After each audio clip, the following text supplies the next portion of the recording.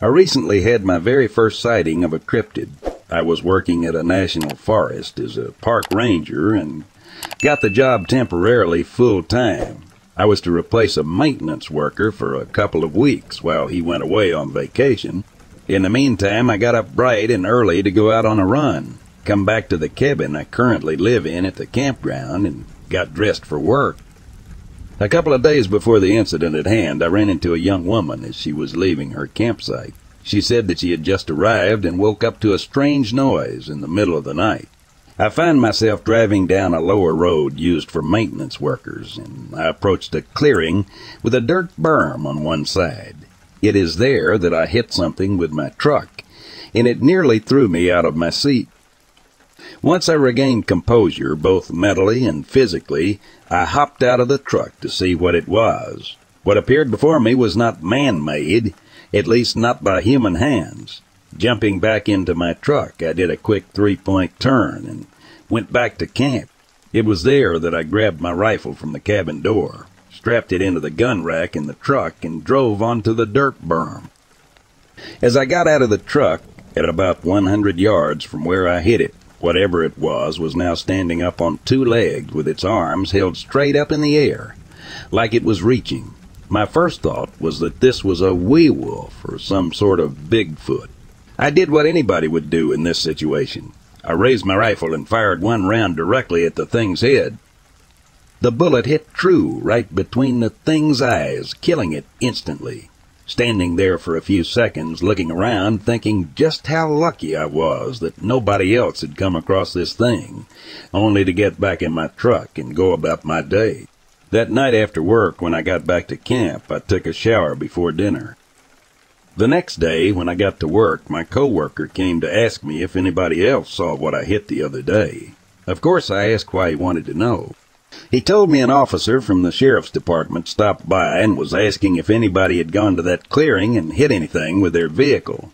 When I told him about my incident, he told me he would talk to the officer for me. I have a bad feeling about this.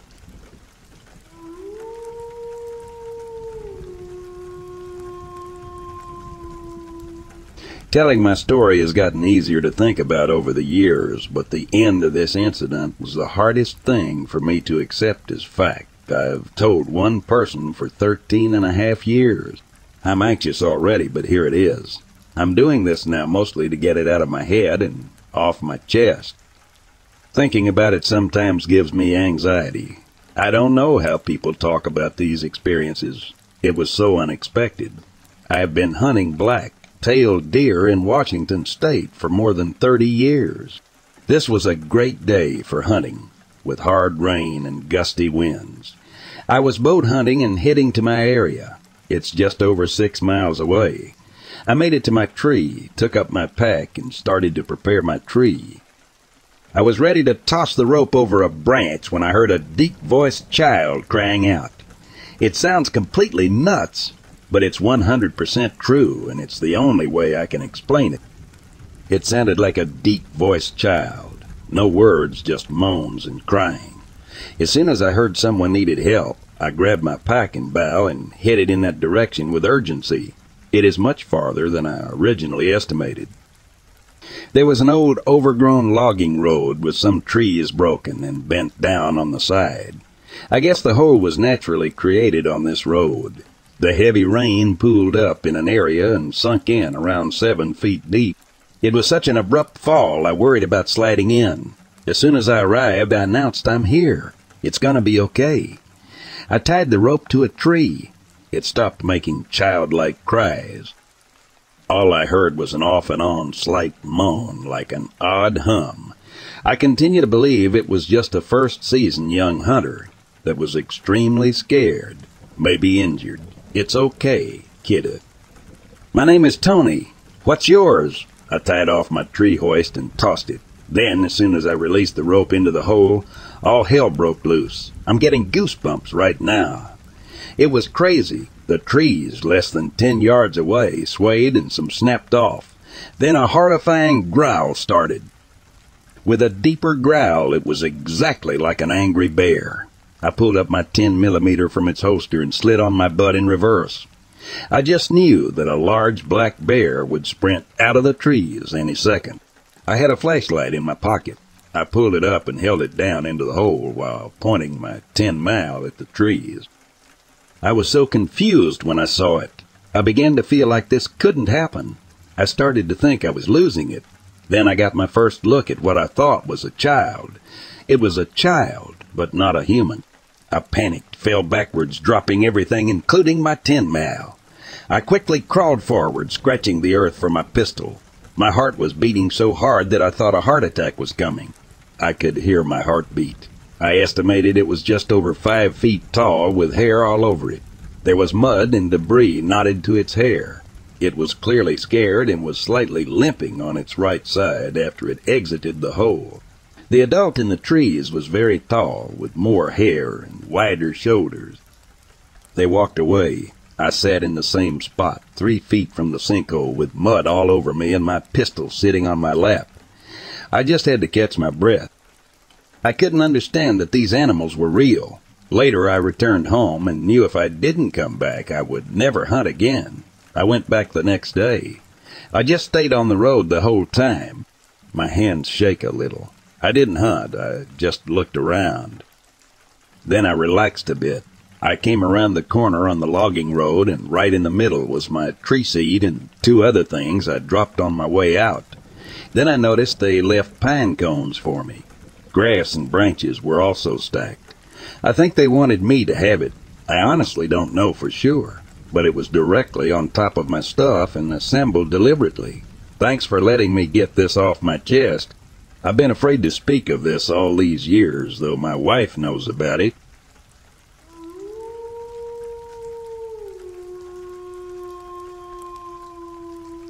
So I wanted to tell a story that happened to me and my grandma. So basically, my family owns a piece of land near, quote, Redacted Lake. Not a big piece of land, but it's enough to fish at. So basically, my grandma and I were out on that piece of land. Our land is covered by trees.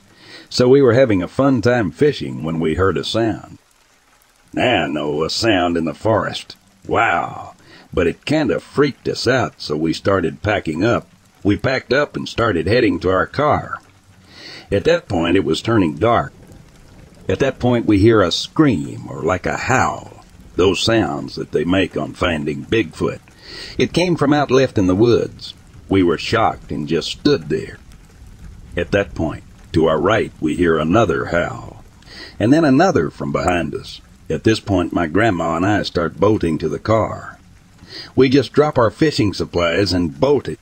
We make it to the car and just reverse as fast as we can and drove out of there, probably breaking the speed limit.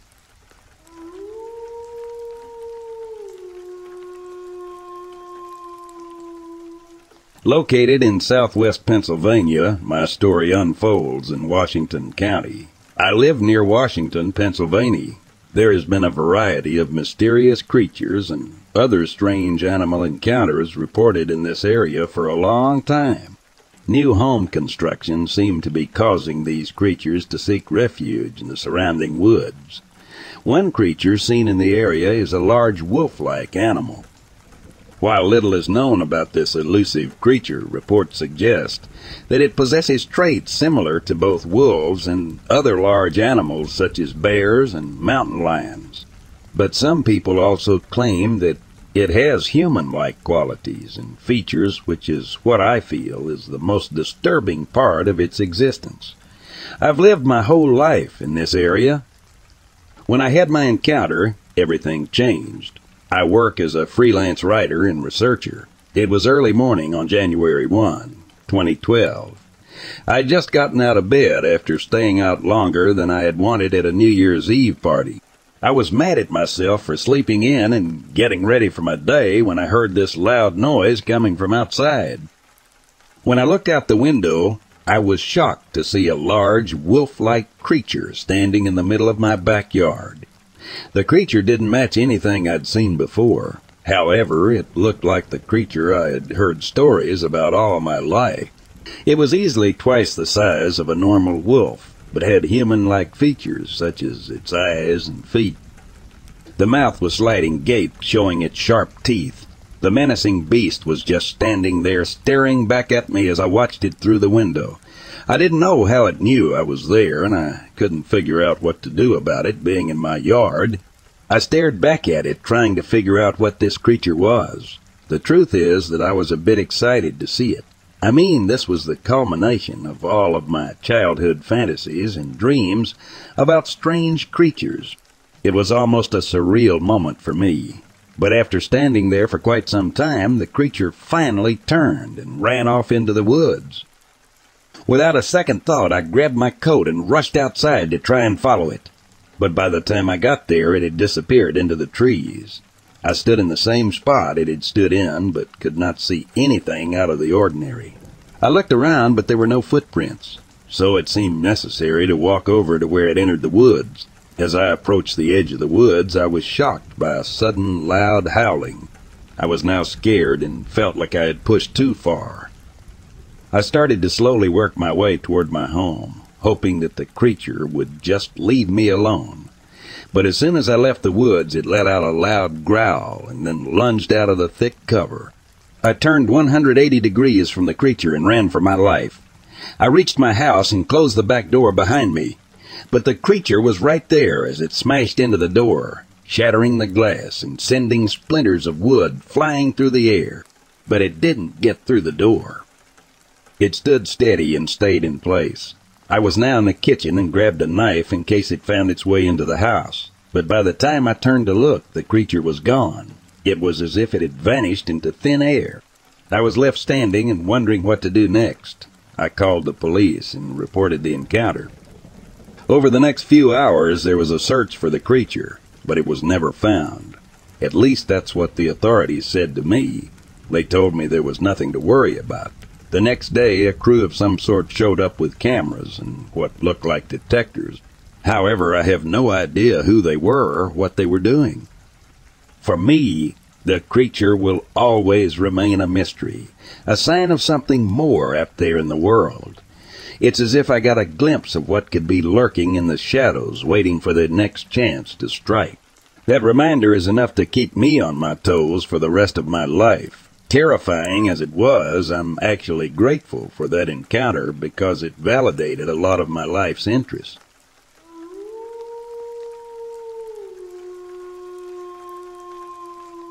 This incident occurred in November 1991 near Falmouth, Kentucky. It was early afternoon.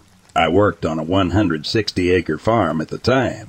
One day, while eating lunch with a friend, I was told that hunters sneaked onto the property. I finished lunch, got my gun, and walked down the fence row. I planned to cut into the woods and sneak up on them. I had been out there for around 45 minutes to an hour and was walking through the woods when suddenly something stepped out from behind a tree. I yelled, friend or foe, and pointed my gun at it. I couldn't believe my eyes. Because they're standing in front of me and my gun was a three half foot tall, unknown, gray colored being. Suddenly I felt the being talking to me telepathically. I had the feeling that it was a young female and it was scared and telling me it was planning to run up a small knoll. Then it ran up that hill. I followed it. Then there was a flash of light and a portal or door opened out of nowhere. It was about four feet wide and eight feet tall. There was a bright light inside, and I could see that it was filled with a small being. Now it looked like it was wearing a tight-fitting black suit of some sort. Suddenly, out of the corner of my left eye, I saw what looked like something running towards me. I wheeled around, and right in front of me was a lizard-like humanoid about five to six feet tall, and it held a long staff in one hand. The humanoid's face was more insect-like and had blue eyes. Again, I felt it was the small female being's father or guardian. At this point, and to my right, a seven or eight foot tall, brown, hairy, Bigfoot-like creature instantly appeared standing nearby. I didn't hear it speak, but I heard in my mind, No, don't hurt him. Just then the lizard-looking humanoid looked right at me, and its eyes changed to yellow gold. I then ran. When I did, I suddenly found myself alone in the woods, and it was night time. I stood there in shock for a moment, trying to collect myself. I then walked back to the farm. Once I arrived at the farmhouse, I found another farmhand that said he thought I was lost, as they had been looking for me. I didn't say anything about my encounter. It's been 32 years since that incident, and I've never experienced anything like that again.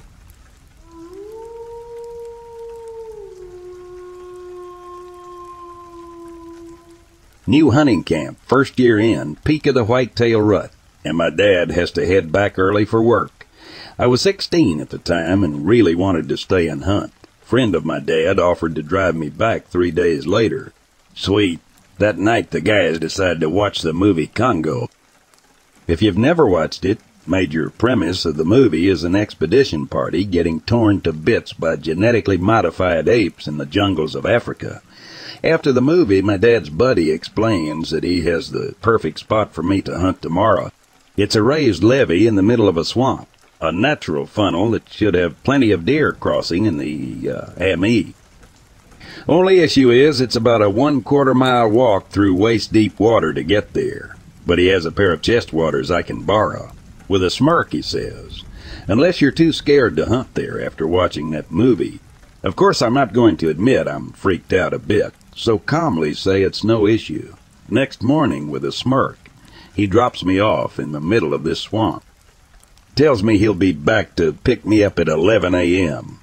As the taillights disappear through the cypress trees, I contemplate just sitting down and hunting the road.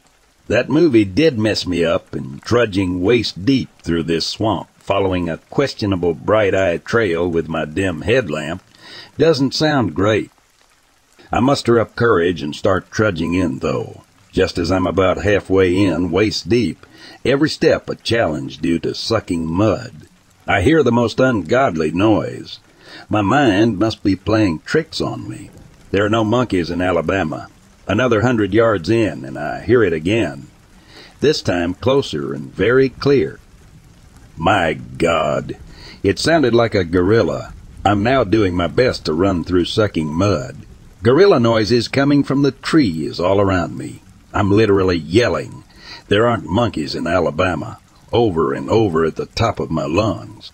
Just as quickly as the noises came, they left. I did eventually find a stand. The next four hours were me clutching my rifle, safety off, drawing on every little noise I heard in the woods, contemplating my sanity over what I'd just experienced.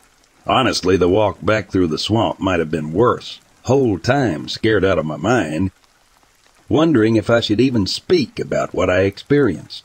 I meet them on the road at 11. Instead of it just being the one guy, it's actually everyone in camp in one truck. I didn't say anything, but the look on my face must have conveyed my experience. They immediately start laughing their asses off and ask to hear my story. As I start telling the story through their belly laughing, I am now convinced they played a trick on me and were hiding in the trees waiting to scare me. I'm telling them they should be glad I didn't blow one of their heads off. The truth is actually much stranger. Yes, it was a setup from the get-go, but it wasn't them in the trees. History is a bit murky on how they got there.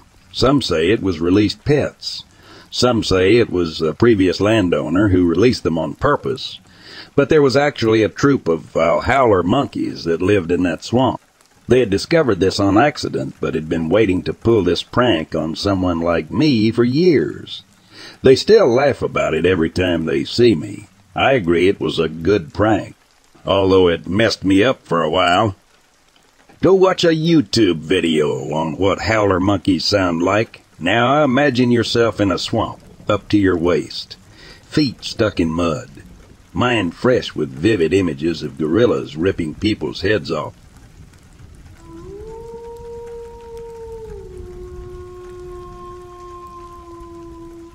In the 90s, I was on a week long backpacking trip with my uncle in the Colorado high country. He was a professional rock climbing trail guide at the time, so he knew his stuff while off. Grid. The second day in, we were following some old trail that hadn't been groomed in years and came across the outskirts of some random commune deep in the woods. We knew there were people there because we could see campfires and laughing or talking in the distance. My uncle immediately freaks out, tells me to keep quiet, and then made us backtrack nearly five miles and then around. It was the first and only time I've actually seen him panic off the grid. Afterward, he lectured me that it was some kind of small sect or cult that had a rep for being very territorial in the area at the time and was known to shoot at trespassers without provocation.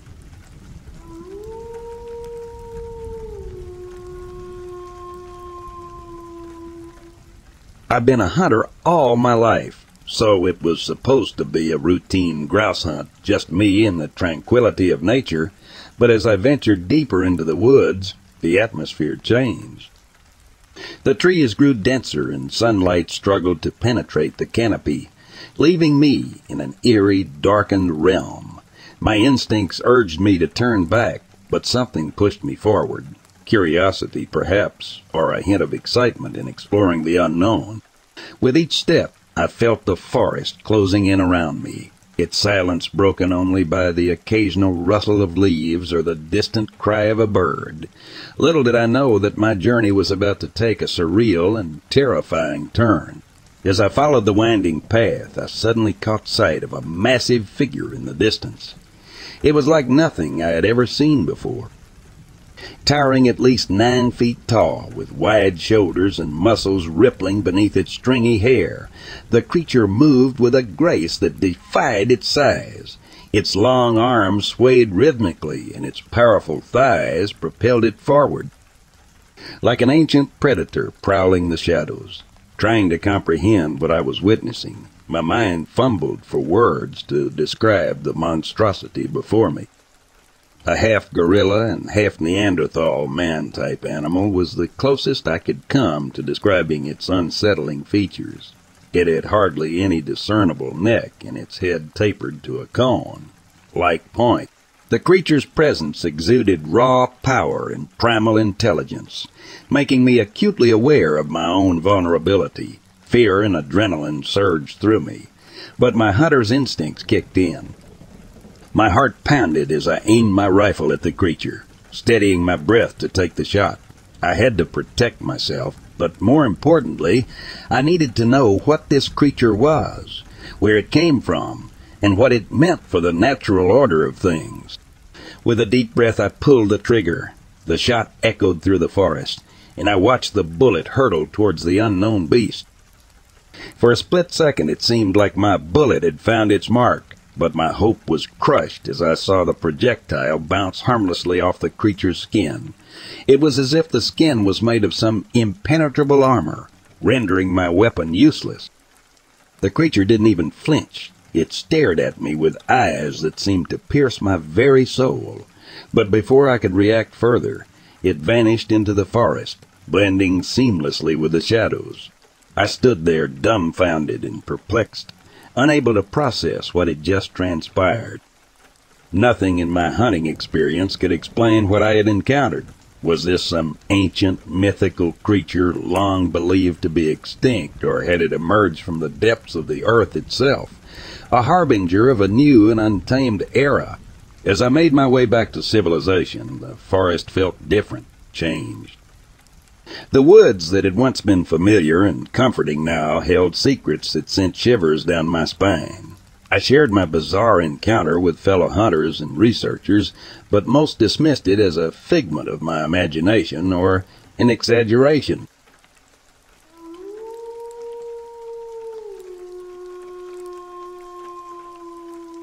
It was 2014 and I was eight years old. I don't remember the exact month, but I'm pretty sure it was December. Strange things had happened in the house in the previous days. Strange shadows and continuous nightmares while I slept, which is why I always slept with my mother that year. I don't remember the exact date it happened. However, that evening my father was working the night shift, so my mother and I were home alone. My mother was sleeping next to me, and I woke her up telling her there was something in the corridor because I heard noises. She said it was just the wind and turned back to sleep. I couldn't sleep, and after the umpteenth noise, I opened my eyes. In front of me, to the side and in front of the cot where my mother slept, was a gray figure, with thin legs and thin arms. It held up one arm to indicate something, with the hand parallel to my mother's face, which was turned onto the back of the bed. I closed my eyes, hoping it was a nightmare. Then I opened them again, and it was still there. Lying in bed, it seemed to reach up to the door handle, which is next to my bed, so it was not higher than sixty, seventy centimeter. Perhaps it really was taller, and it was because of the perspective that it seemed short to me. At that point, I closed my eyes, and now that I think about it, stupidly enough, I reached out to try and feel that thing. I wanted to see if it was real or if I was dreaming. My hand touched something sharp and cold, and I spun around, closing my eyes. I don't know if what I touched was the thing or the metal frame of the cot, but I think it was the frame.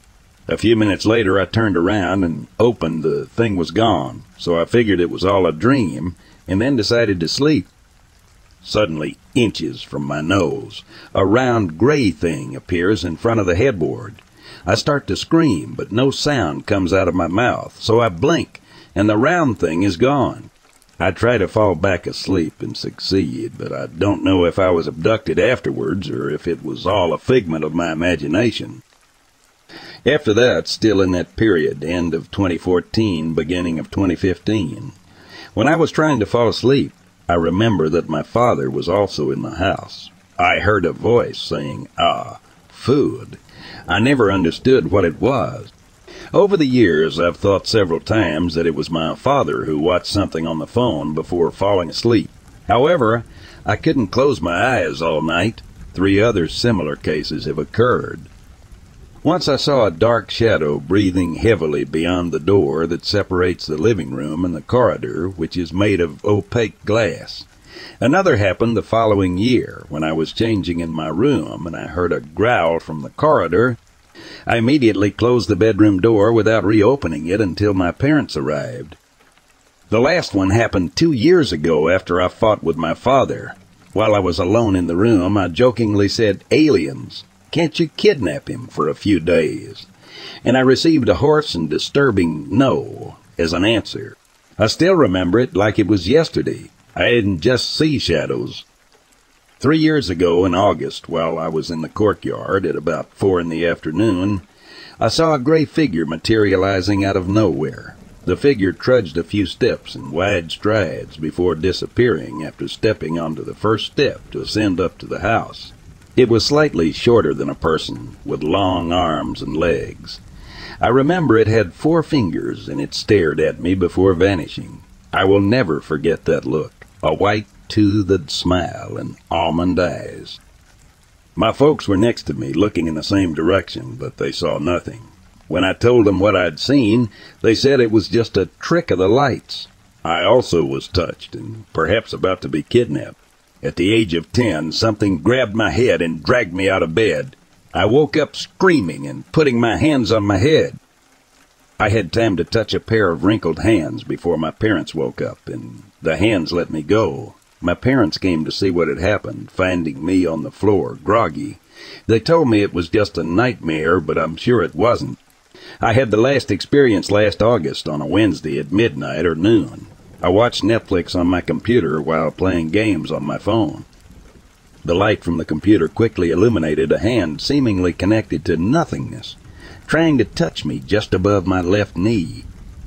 Without telling my uh, sleeping, parents, and without shouting, I turned on the lights immediately, but whatever it was was gone. My mother had similar experiences to the first I related to.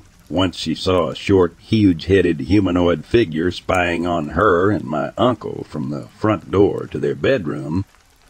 The second time, a similar figure spying on her from behind a radiator on the corner on the way to my grandma's sister's house, which is attached to my grandma's by a corridor full of windows.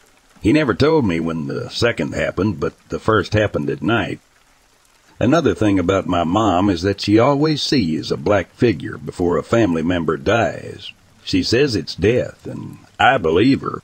He saw her before my great grandfather passed away, then before my great grandmother passed away, and last time in 2020. One at the end of May, about a week before my grandfather died of a heart attack. My grandmother and her sister also had weird experiences. Shortly after my grandfather's death, from the corridor going to my grandmother's sister's house, for a few nights they saw a bright red dot floating in the sky. It rose above the horizon, moving up to the chimney of the house closest to them, to then rise into the sky and disappearing over my grandmother's house. I don't know why they never took pictures.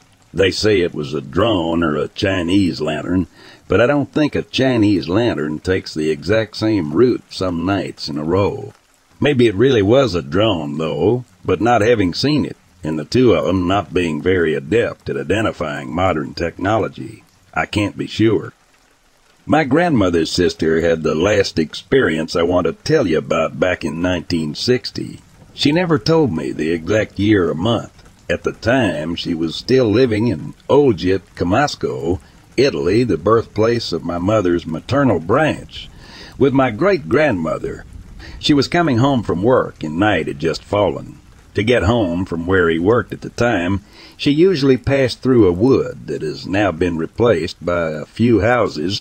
On the dirt road, he punctured a wheel on the bike he usually used to travel there. A few minutes after she started shuffling behind her bike, she saw lights in a clearing, and never scared easily, she approached. A similar event had also happened a few days earlier, but it was explained as the lights of a demonstration or a discotheque that opened in a small village near his home, whose name I don't recall. And I don't know if it still exists. What he found in the clearing, however, was a series of stationary lights, within which other series of lights spun in opposite directions. These lights then suddenly turned off. When she got home, my great grandmother asked why it had taken so long. My grandmother's sister, looking at the watch on her wrist, saw it was 11:30 p.m. This is when she normally gets home around 9 p.m. She told my great grandmother everything, but I don't know what happened next. She never wanted to know what had happened to her. Near where my grandmother and my grandmother's sister grew up is Lake Como, Italy, and several times they have seen what they call heat lightning, basically ball lightning, and they said that the red ball they saw wasn't a ball lightning because it lasted too long and was always the same, and my aunt said it's impossible for so many and as big as the lights she had seen in the 60s to form. I live in the suburbs of Abbiategrasso, province of Milan, Italy. This is located just next to the Ticino Triangle perhaps the hotspot with the most UFO sightings in northern Italy. Nearby are the Cameri military base and the State Powder magazine in Raimondo.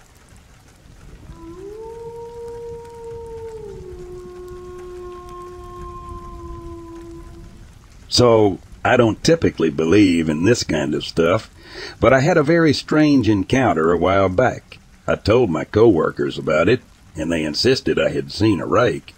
I've been researching since I had no idea what it was.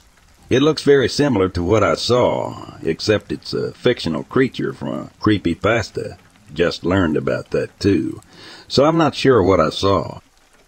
Anyway, I was driving home from work about a month or so ago and headed down this typically busy side street in Douglas County, Colorado, called Havana. It's close to Centennial Airport in a business district surrounded by apartments. It was about 1:30 am and there wasn't much traffic, just a Jeep in front of me. As I drove around a bend in the road where Dry Creek turns into Havana, I saw in my peripheral vision a figure to my right on the sidewalk standing between two small trees held up by wire supports. The creature stood kind of behind them, at first glance, I figured it was just a tall, slender dog, like a white greyhound or Great Dane. It escaped and seemed to bark at traffic on the sidewalk. I was traveling about 45 miles per hour when I passed, and it was dark out, but I noticed as I passed by that it appeared to have a humanoid shaped head with black eyes. It also had a bent over hunched back, long, slender legs, and an unusually wide mouth, like it was screaming or something. I thought to myself, yo, what was that? So I slowed down quickly to look back, and in my mirror, I saw the creature turn around and run off towards a fence or brick retaining wall on the other side of the sidewalk. But as it ran off, I saw how tall and slender the creature was. It seemed very pale, almost gray, with an anorexic and bony appearance. It also moved strangely, where its hind leg joints were inverted and bent in the opposite direction from its front legs. At that point, I was seriously creeped out. The jeep in front of me had also slowed down, so I could only assume they saw it too. We both continued driving as it was late or early and couldn't stop in the middle of a busy road. However, that situation really made my skin crawl. I checked my mirrors for the rest of the drive home. I debated if I should call a non-emergency line to have an officer check it out, but I told myself they would think I was an idiot. Now, every night when I take that road, I look around to see if I can spot it again. I really want to believe it was just a dog. However, I can't stop thinking about how strange and quickly it moved with its backwards knees and how long or wide its mouth stretched. I haven't talked about this much except to some family and my coworkers because, frankly, it sounds ridiculous. I'm wondering what I saw. And if it's something I should talk about, or should I pretend I never saw anything and move on with my life?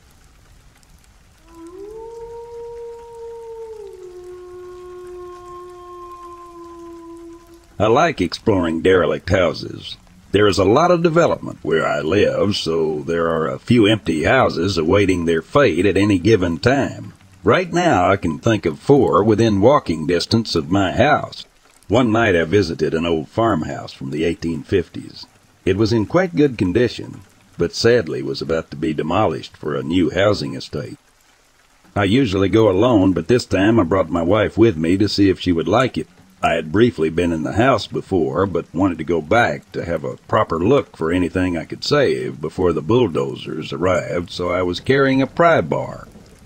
I'm always cautious that I could disturb squatters or vandals. It hasn't happened yet, and I have been in at least fifty houses, so I did a quick look through the house and propped a chair behind the front door, as the lock mechanism had been taken. The side door was open, but I figured that if someone walked in that way, I would hear the crunch of the broken glass on the floor. We were standing in the kitchen, and we clearly heard footsteps walking through the dining room towards the kitchen. My wife freaked out, so I held the pinch bar up and walked towards the dining room door, saying, Yes, can I help you? Which I figured was defiant enough to let whoever it was know that I wasn't scared of them, which may or may not have been the case. The dining room was empty. The noise stopped, and the only sound I could hear was the flapping of the roller blind in the wind due to the broken window. See, it was just the blind, I said, banging the blind against the window to prove my point. The wife was not convinced and practically dragged me out of the house. We jumped in the car and she locked the doors. It wasn't the blind, she said. It sounded different. I heard footsteps. She was right.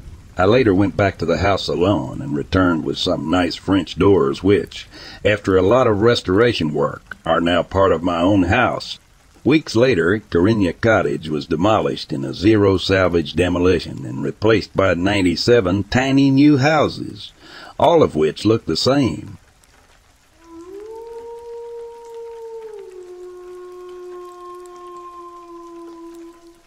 Back in the late 80s, my father was stationed at a base in Central California that is no longer an active base, but all the building and housing are still there. But it's all private now. Mind you, I was about six years old when this happened. One day, my father became ill and was rushed to the hospital. They found that one of his intestines had ruptured. Doctors were baffled as to the cause, but regardless, they saved his life. After a couple of weeks in the hospital in recovery, he came home to our on base duplex. Next door neighbor heard about what happened and was actually shocked said that the same thing has happened to at least three other people that lived in that exact unit. Three that he knew about anyway. We had only lived there for less than a year before my father's incident. Strange thing is, no one else in our household was affected or had anything similar happen. The past tenants that the same thing happened to were also all the enlisted party of the family. No one else in the house, in all families, had problems with a ruptured intestine. All four people this had happened to were all in the time frame of about five years. The other weird part about it is that all three people had different jobs, so this didn't appear to be an occupational hazard at all. One was an office worker, my father, and two others did work on aircraft, but my father did ComNav. Nav, one was a fuel troop, and not sure about the other. So exposure to some chemical or environmental event doesn't seem to be the factor in this.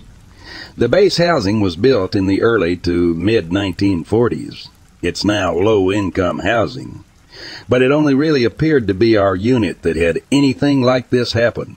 Coincidence. Something about the house that would cause this. Not sure, but it does strike me as odd.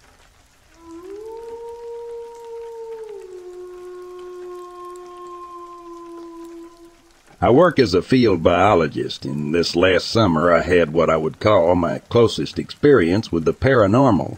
We would drive around on ATVs all night with spotlights looking for prairie chickens. One night, my boss and I were working together. Our co-workers were at another site about five miles away, and we'd made plans to meet up if either of our groups finished up in our respective areas. Anyways, it's about four o'clock in the morning. Very dark out, and my boss and I both noticed the grass on a hilltop opposite us was illuminated, as though someone had parked their truck on the other side and turned their brights on, lighting up their side of the hill. It was coming from the direction and general distance our trucks were from us, so my boss and I decided to head that way, assuming our co-workers were meeting up with us. We drive the half mile to the hilltop when we finally crest. All we see are the reflectors of our parked trucks in the distance. No lights, no vehicles, nobody nearby. Mind you, we were working in incredibly remote areas in Wyoming. The roads in and out were treacherous, there's no possible way someone snuck a truck in and out to spook us without us seeing them. This was prairie. We could see everything around us for miles. We saw that light, but now it was nowhere to be seen. Anyways, that was weird.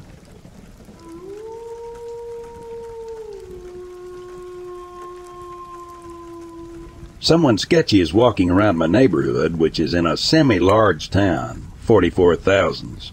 And we don't live in the best neighborhood. Not sure what they are up to, but I thought I heard someone walk by me a few times, but couldn't see anyone. I was outside gardening low. It was 12:30 a.m. Then I took a call from my daughter. In order to not wake everyone, we have thin walls and neighbors close by. I started walking away from the houses towards this large, empty lot. As I'm walking, I thought I heard a noise, so I turned around and started heading back towards my house and saw this shadowy figure holding a super tiny light of some kind. As soon as they saw me turn around and start walking back in their direction, they ducked behind this big bush. I made a comment to my daughter that someone moseyed on behind this big bush real quick in front of me, but still thought maybe they lived at the house the bush was in and that they were cutting through to a back door or something. But a few seconds after I said that to my daughter, the person hopped out from behind the bush in an almost exaggerated fashion and started walking directly towards me. Not sure what the hell that was all about, but I didn't stick around to find out. I cut through the empty lot at a diagonal to get back to my house. Update. I was really on edge after that, but trying to finish moving some flowers I had already pulled. I was working on the front side of my house. The house is on a semi-busy street, and the same one the person had come from before hopping into the bush. As soon as I was done with the front, I went to the side of the house because I had about ten plants I was relocating. I was already thinking that whoever it was before, if it was me they were after, wouldn't know I had moved to the side and might be more comfortable walking right by again. About ten minutes after I'm on the side, I see a guy walking really slow down the sidewalk directly in front of my house. He scared the shit out of me because he was only about ten feet from me when I saw him, and I even said he had scared me to death. He stopped and said, Well, at least I got a chuckle out of you then. Then he proceeded to ask how I was doing tonight. I was polite but short and just said I was doing good thanks. I didn't even ask how he was doing in return because it creeped me out that he had stopped to talk to me at this time of night. He then continued walking to the end of the block, which is also where our lot ends. We are on a corner. I have some hedges that run parallel to the sidewalk and go from the spot I first noticed him and continue to the end of the lot. The guy keeps walking until he has passed the hedges, then turns around to look at me, but given the location of where I was, it would have been hard to get a clear image of me. He walked across the street to where a school is, then turned around on the other side of the street, so he was now facing me. And he just stood there and stared while smoking his cigarette, the light I thought I initially saw. He stood there for a few minutes, and I went in to get my son to come out with me while I finished. He is 19, when my son came out, the guy had already walked past them back again and was heading back for a second time. My son stood in the middle of the sidewalk and just kept an eye on him. He passed us and got to the end of the other side of the block. He turned around as if to see if my son was watching him still. He was. He stood to bear staring at us for an eerie length of time. Then B finally walked away,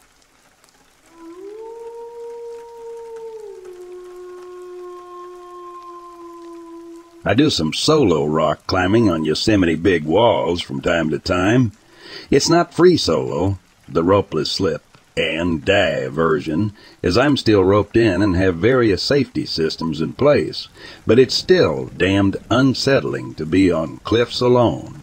Last fall, I soloed a 1,300 feet route on the Washington Column called the Prow. It took me three days, the first night was horrific because a severe thunderstorm rolled in. I spent the entire night shivering wide awake, 500 feet off the ground, as the heavens were rent asunder all around my portaledge. That was downright terrifying, especially considering that I was a bit of a lightning rod with all of my aluminum equipment. After I descended two days later, some hikers I bumped into mentioned that they had seen lighting strike the top of the Washington Column that night. But the most eerie thing I've ever experienced was the whiteout. Between the thunderstorms and pouring rain on the first and second days, the fog would roll in and start to thicken. At its worst, visibility dropped to 15 feet. On the ground, that qualifies as more than creepy. 500 feet up a vertical granite face and totally alone. It is disorienting and nightmarish. I could see 15 feet up, left and right, before the rest of the granite faded into the fog. But the worst was looking down into a white abyss. Not seeing another human for three days was weird, but not seeing the ground for several hours scared the bloody shit out of me. Your world condenses to a tiny bubble, and there is nothing to orient you in space but gravity. The closest thing I could compare it to is closing your eyes and floating underwater. It's that level of sensory deprivation, but with a horrifying knowledge that you are utterly alone and isolated. I had similarly terrifying experience the previous year on a solo ascent of the West Face route on Yosemite's Leaning Tower. It's a 900 feet route that consistently overhangs 10, 15 degrees. On the second day, I was behind schedule and was finishing the last bit of climbing in the dark. The very last thing I had to do was ascend a fixed rope attached to my camp, about a 100 feet above me. Ascending the rope involves using clamps that cinch on the rope and allow me to pull myself up the rope only without needing to use the rock face itself. However, the rope hung vertically, and with the overhang of the face, I was about 20 25 feet from the cliff. I had my headlamp on and made the mistake of looking down to see. Nothing. Not a damn thing. There was just a black pit below me as I was too high for my headlamp to illuminate the ground. It was like seeing the blackness of space, except beneath you and with no stars. Just like the whiteout on the Washington column, not being able to see ground is a really disconcerting and disorienting feeling. I noped the F out of there pretty quickly and spent a fairly pleasant night 50 feet from the summit before descending the next day.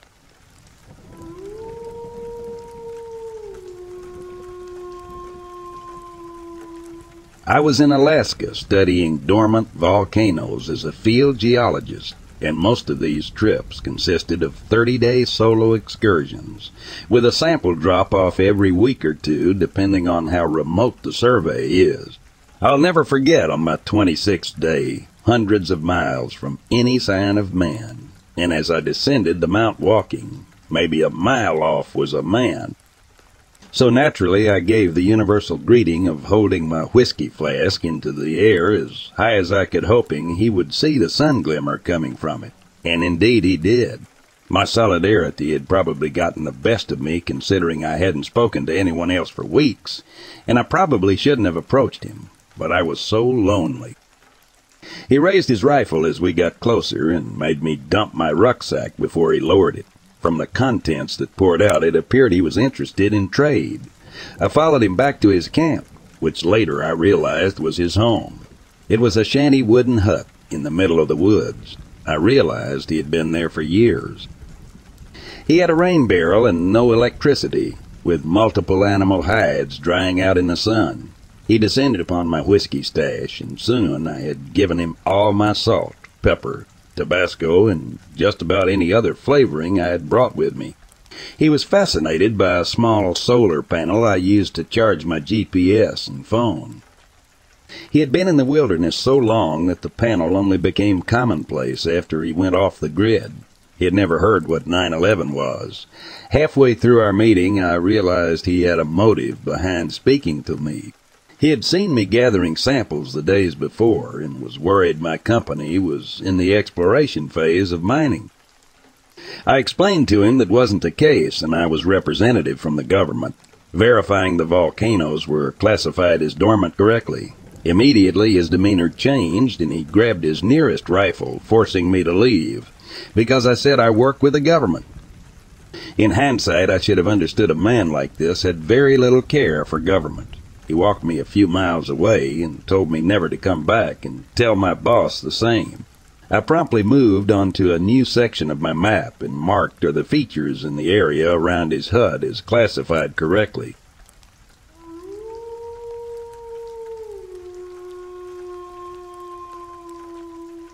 When I was about 12 or 13, my mom, two sisters, brother and I were driving home from a nearby very small town at about 2 a.m., a commute that we often made to see family who lived there.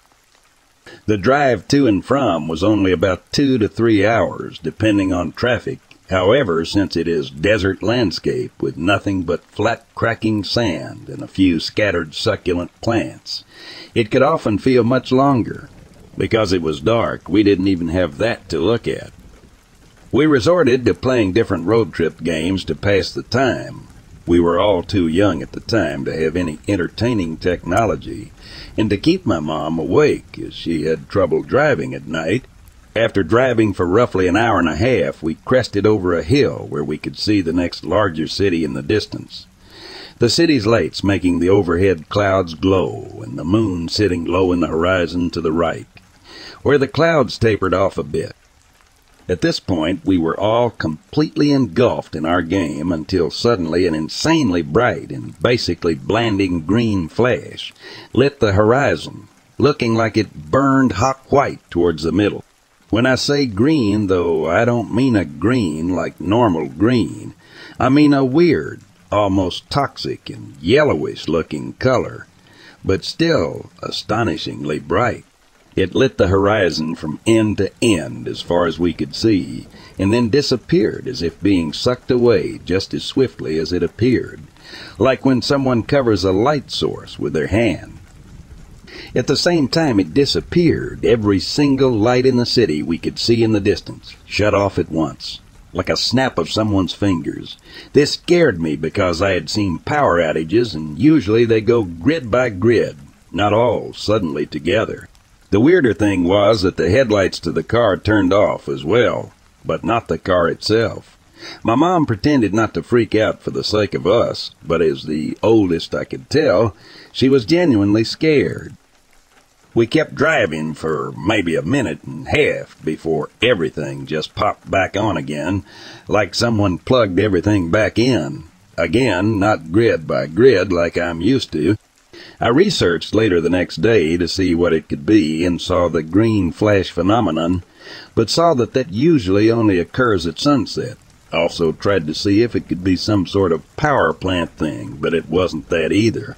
Still don't know what it was or what could have caused it, as we were nowhere near a military base or testing ranges of any sort.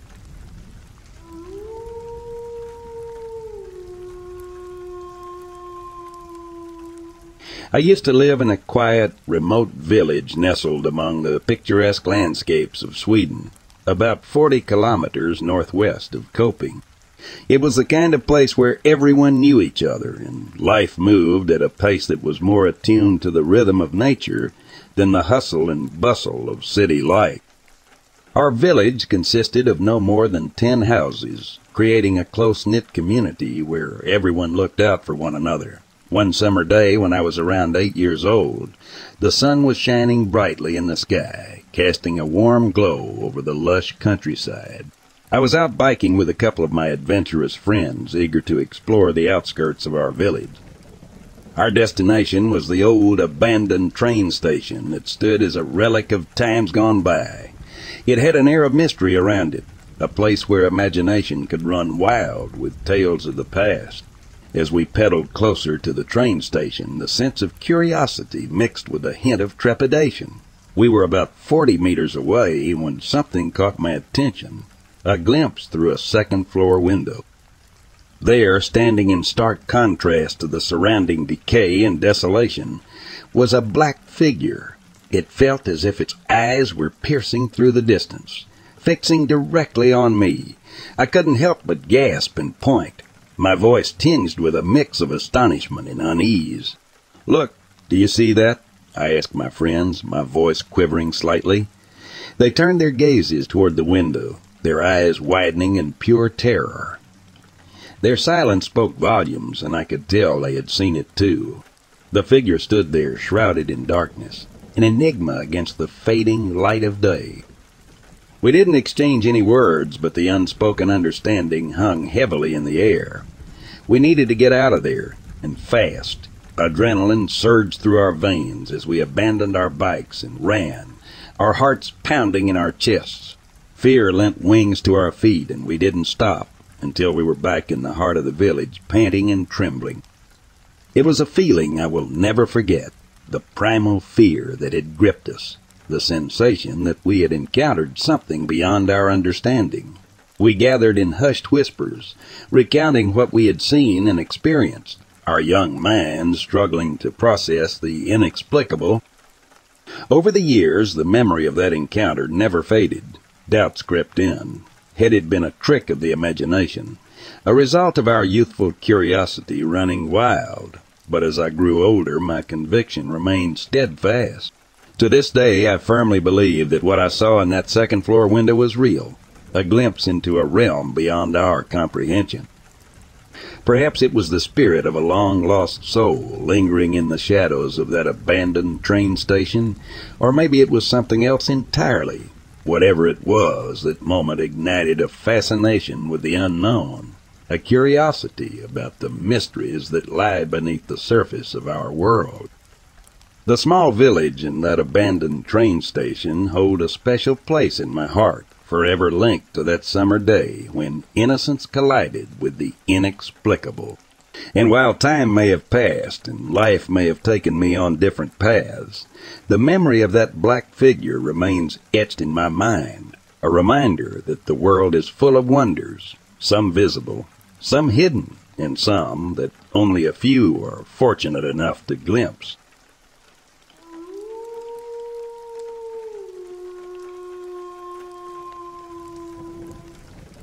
I'm late to the party, but years ago some friends and I were going to have a campfire at a lake late at night with copious amounts of alcohol. When we got there, we had to drive around a barricade and one of the cars got stuck in the mud.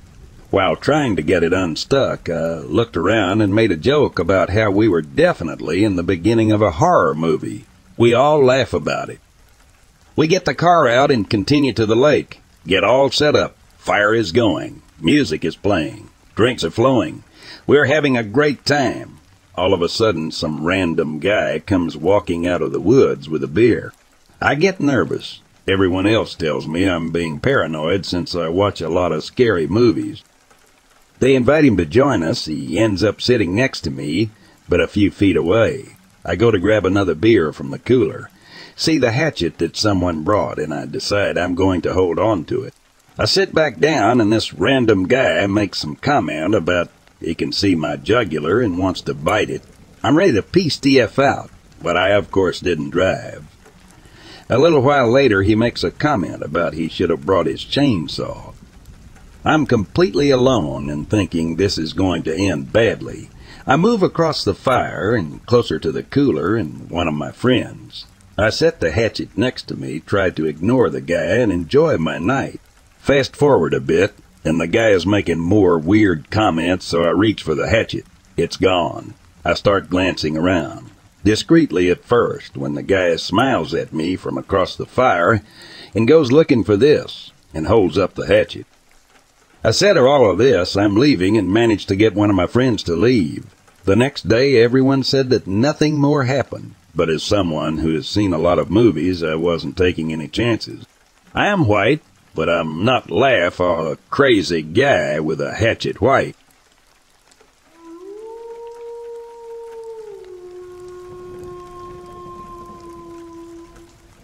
I called an elk to camp, was camping with my family in our luxury camp kit. I have three types of camp kit. This one has a blow-up mattress. I blow it up with an accordion-style raft pump. This pump makes what's best described as an elk mating bugle. This is no cell service deep in the woods type of camping. It was also rut season. Sitting around the campfire after wife, daughter, and dog went to bed, I heard a large creature about fifty feet from me. Never saw it, but the mass and noise makes me think I called an elk from across the valley. Another story. Wife's sister and boyfriend flew into town and they wanted to go camping. Was driving down a very rough road quickly. Vehicle is modified and I enjoy off, roading, to an awesome campsite that has a bluff to sunrise and sunset with one road in and out. Again, very deep in the woods. Everyone was falling asleep on the drive, so nobody else saw. Driving down the road, the largest cinnamon bear I've ever seen jumped in front of my 4Runner, ran 100 yards, then ducked out. We were maybe quarter mile from where I planned to camp.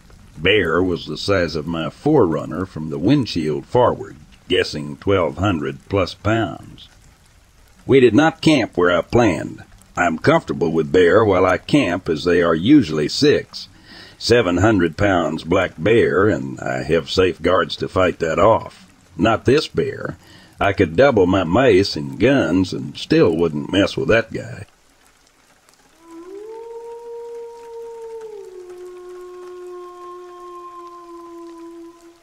Decided to hike up Met Warning, Queensland, Australia, at about 10 p.m. at night with my girlfriend. We were planning to hike up through the night, which was about three, four hours, camp and smoke weed at the top, and then catch the sunrise.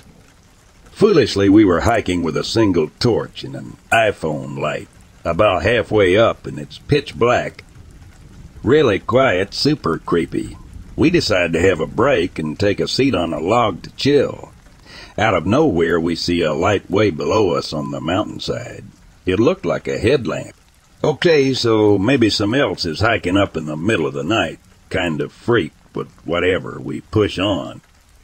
For the next hour or so, I would keep checking behind us and catching this light tracking behind us in and out of the tree line. We finally get to the summit, which turns into a scramble and make it to the top. There's a platform up there, so we set up and relax. I'm kind sketching out. The weed isn't helping, but looking around expecting someone else to show up but no one came. We unpacked sleeping bags, eat some food, and no off to sleep. I woke up about 4 a.m. as the sky started to brighten up and find backpack gone with all out stuff and sprawled out across the platform. It was dead silent and just super eerie to wake up to. Anyways, we both freaked, grabbed our stuff, and basically ran back down the mountain.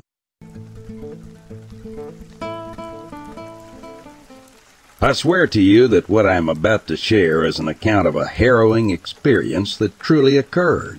As a member of the park ranger team in Yosemite National Park, I never imagined encountering anything beyond the natural wonders of the wilderness. Yet fate had a different plan for us. It was an ordinary day when the call came in about the strange and prolonged solar eclipse casting an eerie darkness over the park. Our leader, John, wasted no time in assembling the team to investigate this perplexing phenomenon. We set out with a mix of curiosity and trepidation, uncertain of what lay ahead. As we journeyed deeper into the heart of Yosemite, the darkness seemed to intensify, enveloping the once vibrant landscape. The forest canopy, once dappled with sunlight, was now a canopy of shadows. It was an unnerving sight, but we pressed on, determined to uncover the source of this unnatural eclipse. It was during this journey that we first caught a glimpse of the unsettling figure lurking amidst the trees. It stood tall and imposing eight to nine feet, or perhaps even taller, casting a long and eerie shadow that seemed to stretch beyond what was physically possible.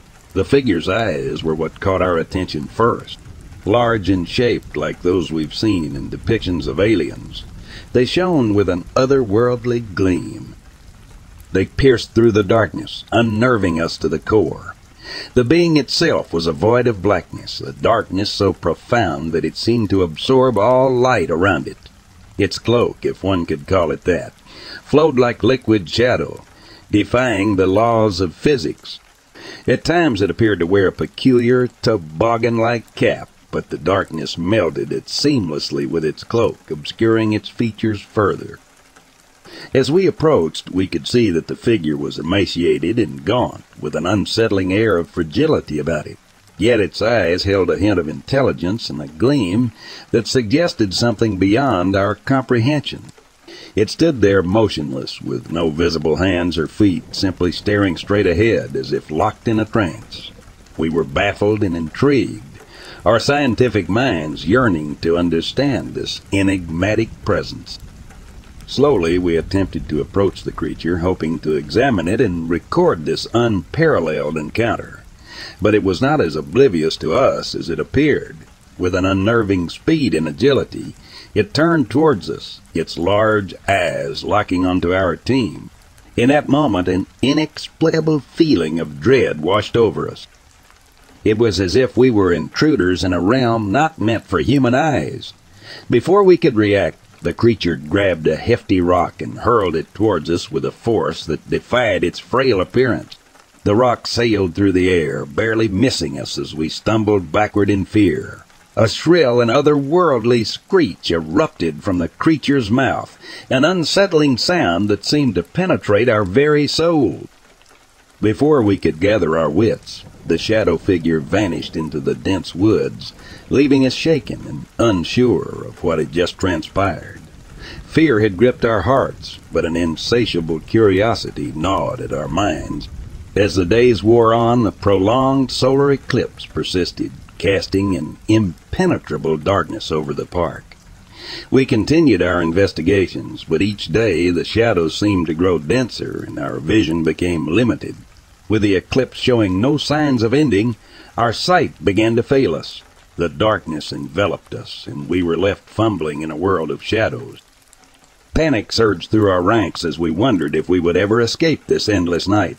And then, as suddenly as it had begun, the solar eclipse ceased. The sun's rays broke through the darkness, blinding us for a moment as we slowly regained our vision. Confusion and relief washed over us as we looked around unsure of what had transpired. The unsettling figure, the creature of darkness, was nowhere to be seen. Had it returned to the shadows from whence it came, or had it vanished to a realm beyond our comprehension?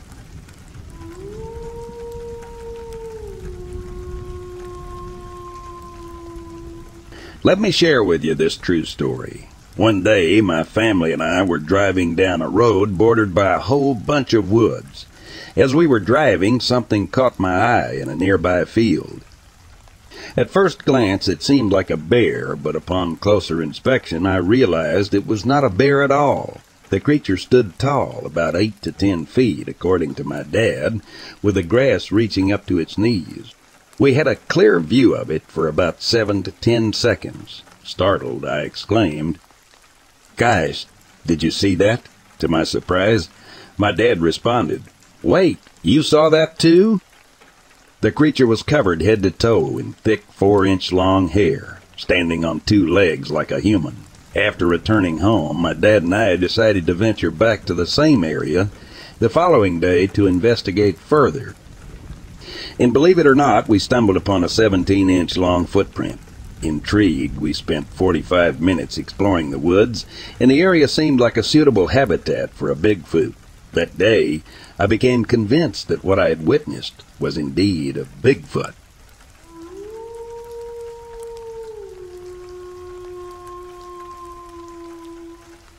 Near Strasburg, Lancaster County, Pennsylvania, August 1978, afternoon, three Amish men were working in their field when a strange looking man approached them from a neighboring farm. The man was yelling, jumping about. The Amish men were alarmed and noticed that this man had arms, legs, and a face that seemed different, more animal than human. He had coarse dark hair on his limbs and face and wore dark and tattered boxer shorts. As the man creature approached closer, he yelled something, but it was not understood by the men. The men ran towards their house. The man creature was behind them. One of the Amish men ducked into the dairy barn, and the other two immediately entered the house.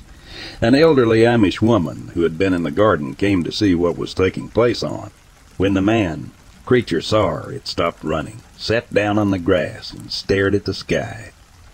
The men came out of the house, and one slowly walked over to the man, creature, and attempted to talk to it. The man, creature, continued to look at the sky, but muttered. The man and woman noticed that a horrible stench permeated from this creature described as rotting flesh. After several minutes, the creature got to its feet and walked towards the dairy barn. As it did, witnesses noticed that the creature was fading away. Eventually, it vanished from view just before it reached the barn. Shocked, the Amish witnesses dropped to their knees, not knowing what they had witnessed.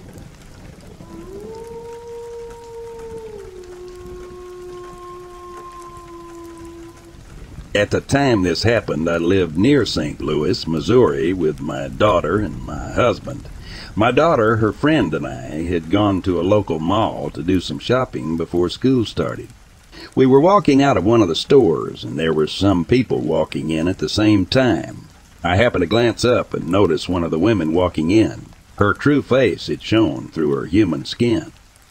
It was the face of a brown horse, with the shape of the horse's head morphed under the woman's long dark hair. When she noticed that I saw her true form, she snapped her head around and stared at me as I walked away. I was telling my daughter and her friend what I saw and what was happening, but they just laughed and did not believe me. Please tell me someone else has seen something like this and I am not the only one. I can't forget what I saw that day. I wish I could draw, but I can't. Please, someone tell me that they are seeing something like this. It was at the Chesterfield Mall in Chesterfield, Missouri in 2012. I have experienced many paranormal encounters in the past, but this one is near the top of the list. The only times I have ever smelled anything were the few times I smelled cinnamon all around me while no one else did. It happened in my home as well as in bars. And in the car, I have also smelled a strong odor of cigarettes around me. Others could smell it in our home. None of us smoke, and all windows were closed.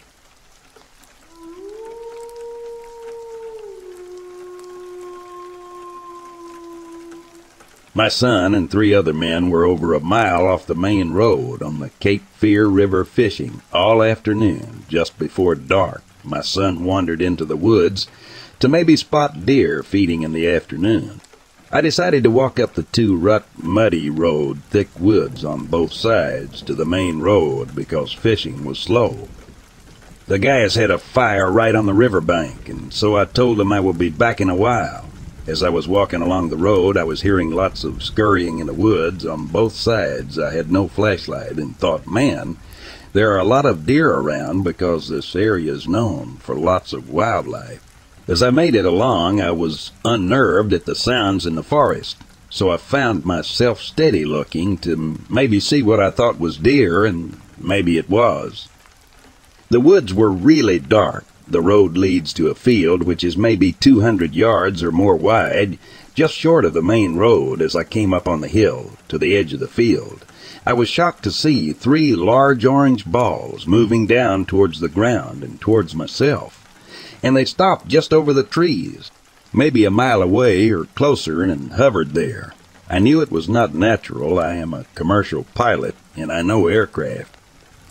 I stood in shock, thinking this cannot be real. I stayed maybe 10 to 15 minutes, then began to feel nervous, so I made my way back to the men on the river in a hurry, mud and all. I then, in a panic, took off looking for my son, which was 17 years old at the time and as I started into the woods calling him, he came towards me totally shaken, telling me, Dad, you will never believe me, but I have been hiding from aliens. I am scared they are in the woods, and I believed at that time he had seen something. He was serious. I told him, Junior, I just saw three orange UFOs up at the road, and it scared me, so I came looking for you. We made it back to the river, and my son, excited, began to tell the other three men what he had seen and they started on the both of us. What I did not know was the three of them saw the same thing as my son during that time, the sequence. I am not sure, but we all saw the same. It was a clear, cold night. Stars were bright, and about that time one of the other men holding a fishing pole hollered, Look! Up into all our amazement, the stars looked as if six to eight of them, from different parts of the sky, moved very fast, seeming to converge in a group. And then all of a sudden, three of the objects, side by side, came over our heads and landed or went out of sight on the other side of the river. Maybe two to four hundred yards away, all three lights were round, bright white, blinding lights, as big as maybe 100 yards in diameter, all side by side, all touching down or going out of sight in the forest, just on the other side of the river. It scared all of us so bad the three friends of mine, along with my son and me, dropped our fishing poles screaming, Let's go home. We left fire poles and all speeding up the muddy road. To the main road, each one in a panic, some of the men were fussing. Take me home first. I need to find my wife and children. When we made it to the top of the hill, this is where the trees on both sides end, and the field starts. I slammed on the brakes, all of us, in shock to see what looked like a brilliant white egg-shaped sphere with a tail with long spikes all around the middle.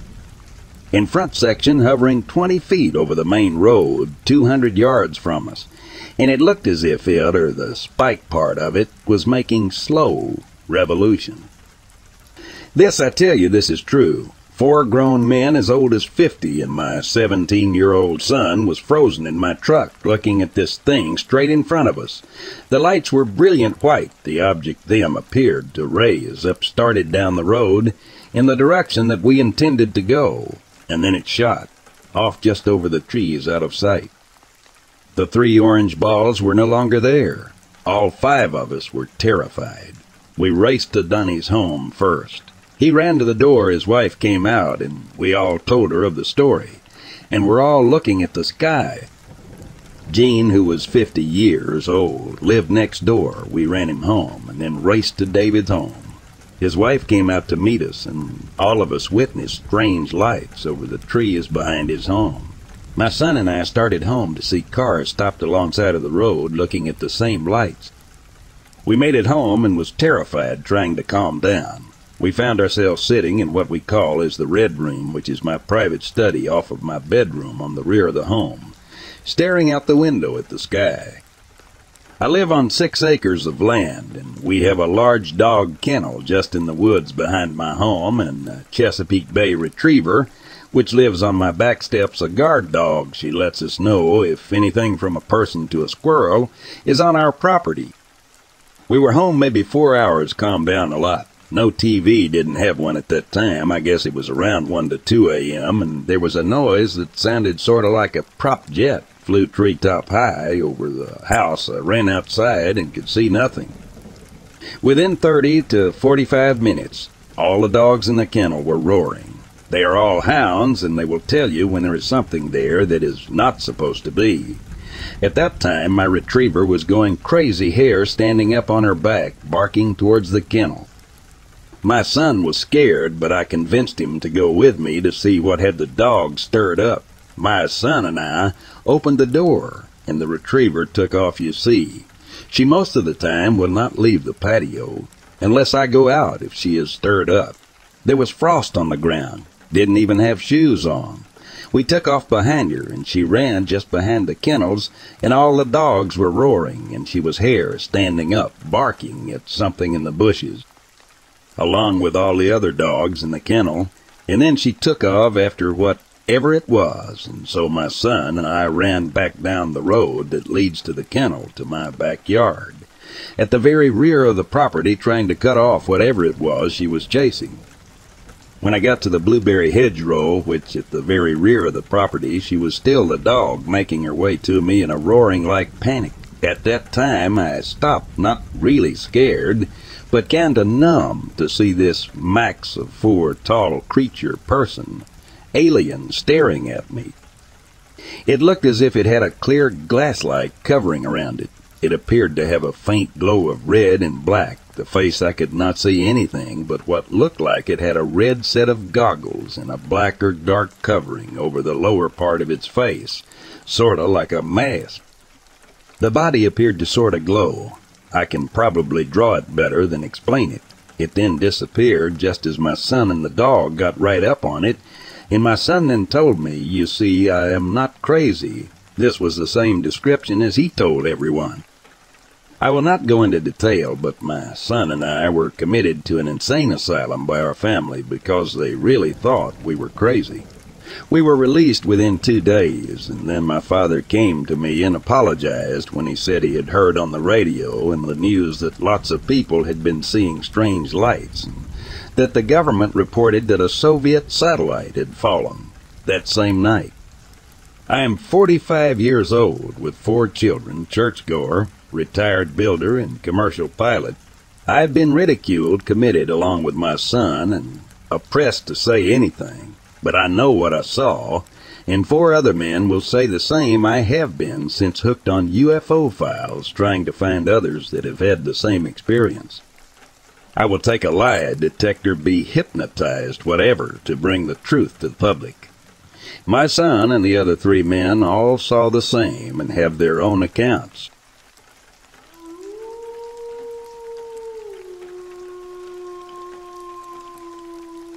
Yesterday, my brother and I set out on a hunting trip, eager to find a fresh location not far from where our father had recently bagged a buck from the road.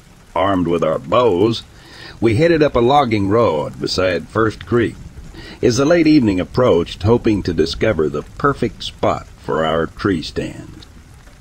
Our search led us to a steep ridge covered in dense pine trees, offering an ideal shady spot where deer could rest during the day. At the ridge's base, a clearing cut through by the road seemed like the perfect spot for moonlit grazing. Excitement surged through us as we realized the potential of the location, and we wasted no time preparing our ambush. But our excitement soon turned to fear as unsettling screams pierced the air. We exchanged fearful glances, desperately trying to figure out the source of the terrifying noise. It was unlike anything we had ever heard before, a chilling blend of a woman's scream with a deeper and louder tone. Anxious and frightened, we slowly backed down the road, our eyes scanning the tree line for any sign of what could be causing such a dreadful commotion. The eerie screams followed us, never drawing closer, yet refusing to fade away. There were no crashing sounds of brush to indicate movement, just the haunting echoes that sent shivers down our spines. As we finally reached the main road and turned back towards our camp, the unnerving screams finally ceased. We rushed back to the campsite, with my younger brother half jokingly suggesting maybe it was Bigfoot. We briefly discussed the strange occurrence around the campfire, but the other hunters seemed hesitant to share much about the banshee, like sounds we had heard, leading the topic to be dropped quickly. When asked if we ever thought about what a banshee might look like, my brother and I, being seasoned veterans of the Oregon woods, laughed and admitted we had never really considered it. As for hunting in that direction again, my older brother grinned sheepishly and pointed in the opposite direction of First Creek, saying, Nah, we've hunted over that way ever since.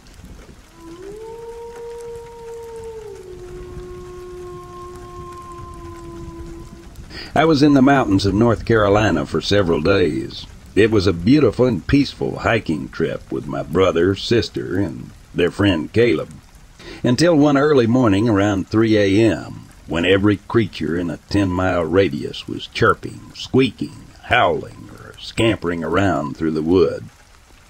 Being from the Midwest and having survived two tornadoes, I thought the worst weather event of my life was about to occur, and I was sleeping in a hammock for those who don't know, just before a tornado is formed above your head, every animal in sight will be freaking the out.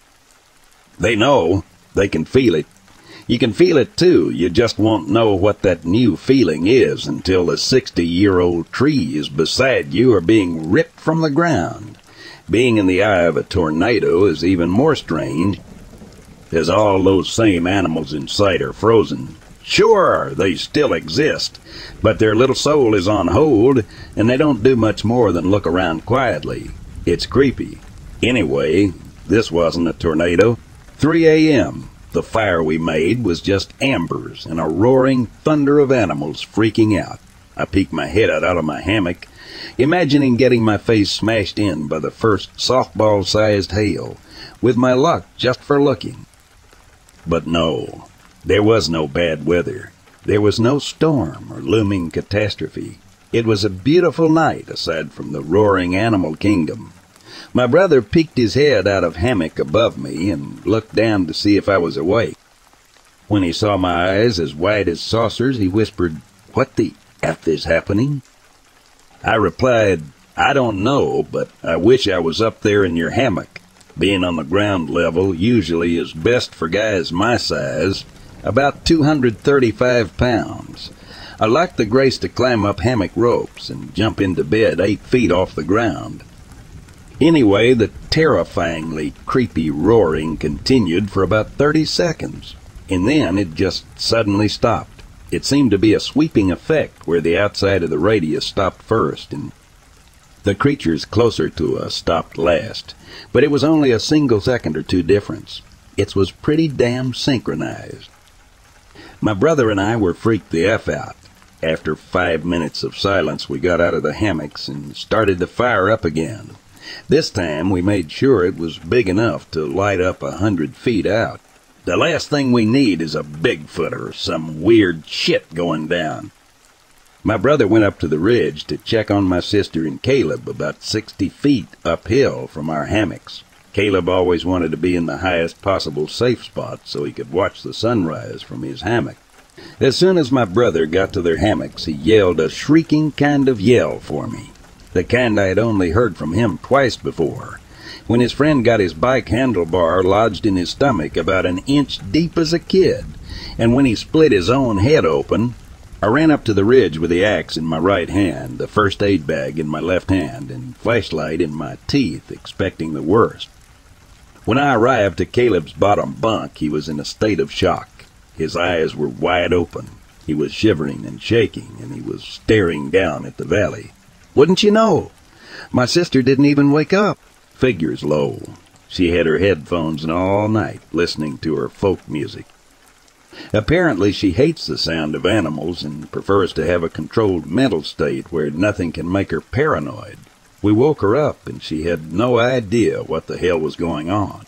She just stayed in her hammock like, what do you want me to do? We eventually got Caleb down to the fire and wrapped him in some blankets. I gave him a shot of whiskey to sip on, but he mostly just held it and stared into the fire. The whole night was too weird for sleep, but Caleb finally laid down next to the fire and fell asleep around 4.45 a.m. The sun came up, and my siblings and I decided to leave the fire and go see the sunrise from the ridge. We all sat in Caleb's hammock, still bewildered.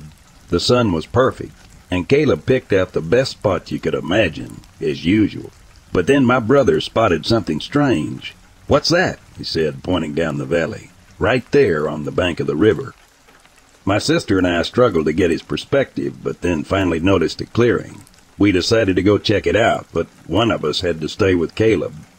My sister volunteered as she hates creepy things. She didn't want us to go down, but we insisted.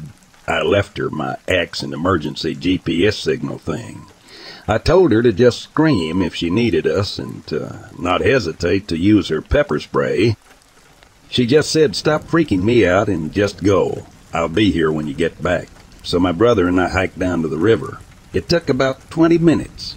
When we arrived, we felt very uncomfortable. There were no animals around whatsoever. No birds, no squirrels, nothing.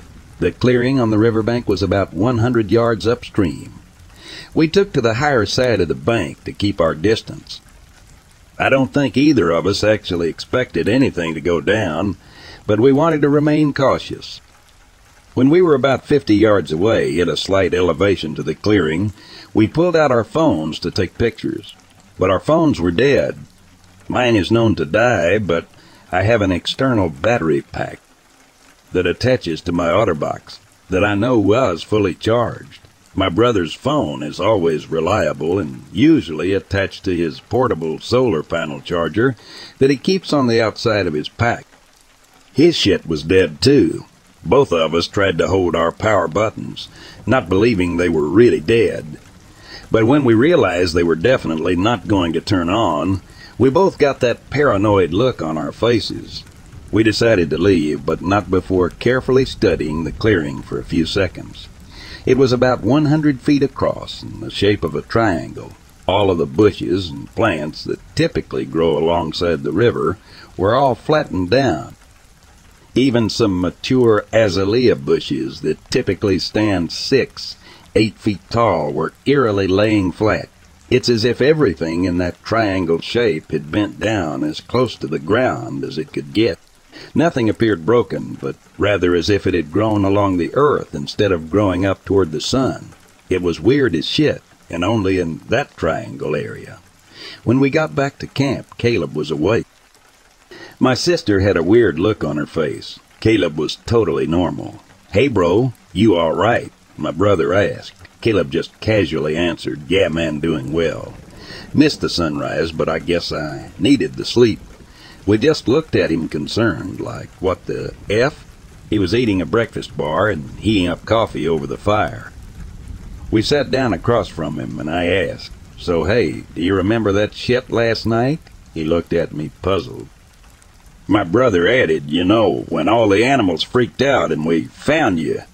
He just looked so confused. My sister said, Caleb, stop playing. He asked, What are you talking about? My brother said, Bro, you were messed up last night. Caleb laughed and responded, Yeah, I figured I had to be because I never sleep next to the fire all wrapped up in blankets, not after getting that bug in my ear that one time. Lo, We continued to ask him questions, but he had no memory whatsoever. As far as he was concerned, he had a few too many drinks and slept next to the fire. We told him our story, and each of us agreed, but he had no recollection. We told him about the spot next to the river and how our phones wouldn't turn on. We pulled our phones out to show him, and they were already on. My brother had 67% battery, and mine had 41%. We got the creeps real quick. We decided to pack up camp and get the F away from that spot. But before we did a final sweep, Caleb asked, have you guys seen my camera? He had a nice DSLR Sony with a nice lens, and that shit was gone. The weirdest part is he slept with it in his hammock every single time he goes camping, and we've never seen it, not on his body. He even specifically remembered taking it to bed and tucking it in its bag and putting the lens in its sleeve. It's like a ritual for him. He takes super good care of his belongings. We searched around the ridge and all around the fire, and in between the two spots. It was nowhere to be found. Caleb even went down the ridge a bit toward the river in case it had fallen out and rolled down the hill. But it was gone. We had to leave, and my siblings and I agreed to pitch in to buy him a new one if he would just get the F out out there with us. About three miles and one hour later, my brothers turned to me on the trail and said, Do you think he tried to take a picture of some shit he wasn't supposed to see? The creepiest feeling swept over me, and I replied, Bro, let's just forget how messed up he was and get the hell away from here. He nodded in agreement. It's been about a year now, and I haven't seen or heard from Caleb in eight months. No one has.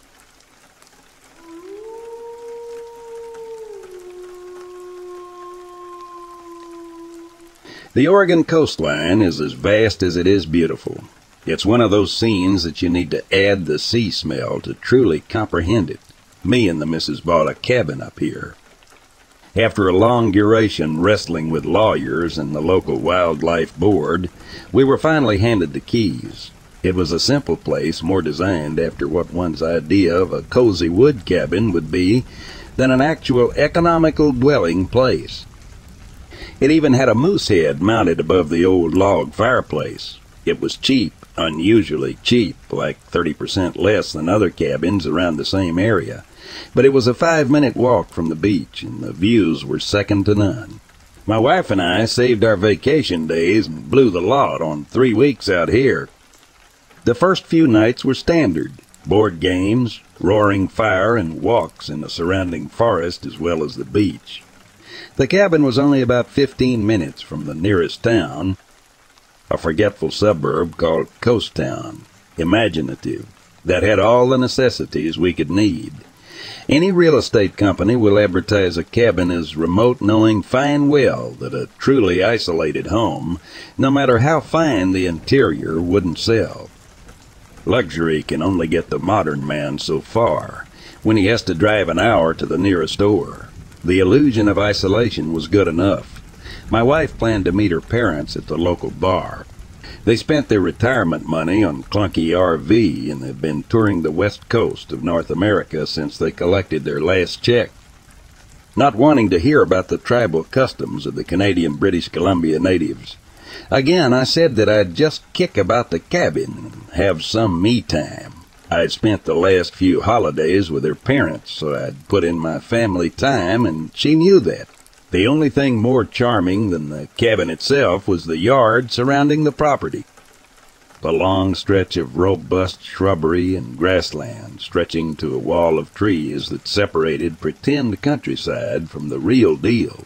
The previous owners must have been hunters or wildlife enthusiasts of some kind, because the yard was strewn with birdhouses, deer feeders, and their bookshelf was full of fauna guides.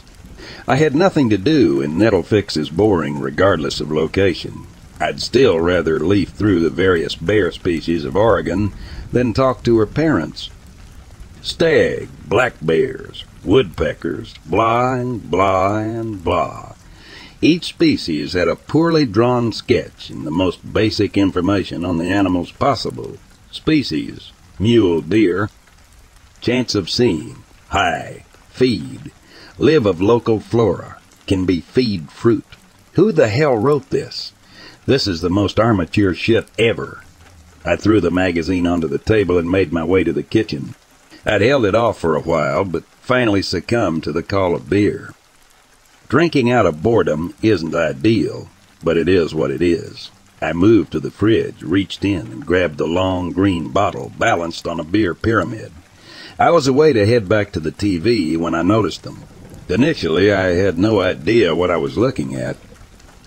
Kinda looked like when you point a laser pin at a wall. Two red dots about, I'd say six feet of the ground, just hovering there.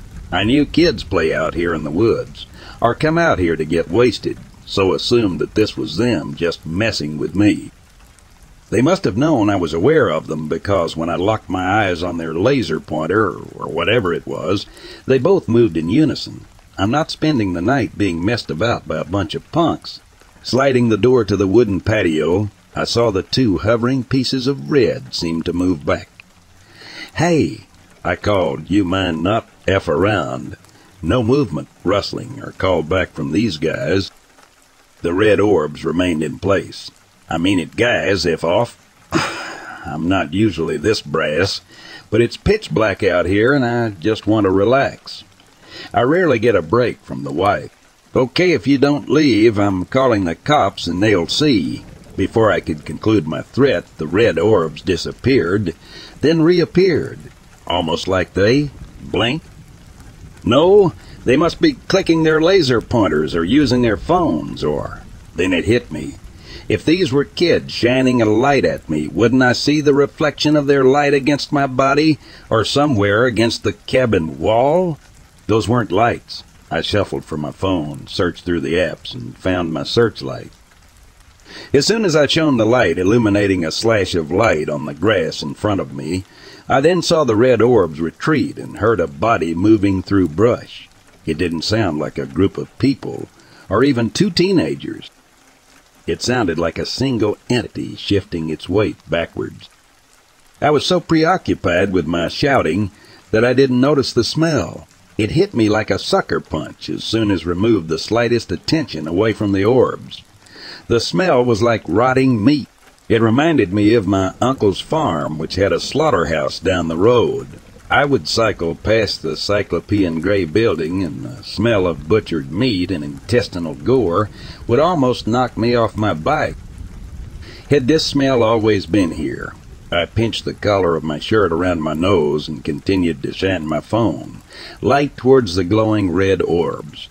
Every time I would take a step forward, the orbs would retreat.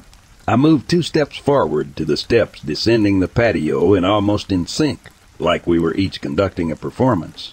The orbs moved back twice. This time I must have been close enough to hear it. As the orbs shifted backwards, the unmistakable noise of weight pressing down onto foliage could be heard. Something was standing between the trees behind my cabin, staring at me. Those weren't lights. They were a pair of eyes. My body lost all sense of gravity as that realization dawned on me. I was so light it felt like I could just float away at the slightest touch. My mind was screaming at me to run, to move back into the cabin, head for the door, get in the tuck parked in the driveway, and just drive. Don't even head to Coast, town, to the bar where my wife will be pleasantly sipping wine with her parents. Just drive far away. My rational mind was not functioning. I could feel my cognitive ability physically slow down. Like time around me started to bend and wobble. I managed to force my body to take a step backwards, which caused the eyes to move forward. If I took a run for it, would whatever was staring at me make chase?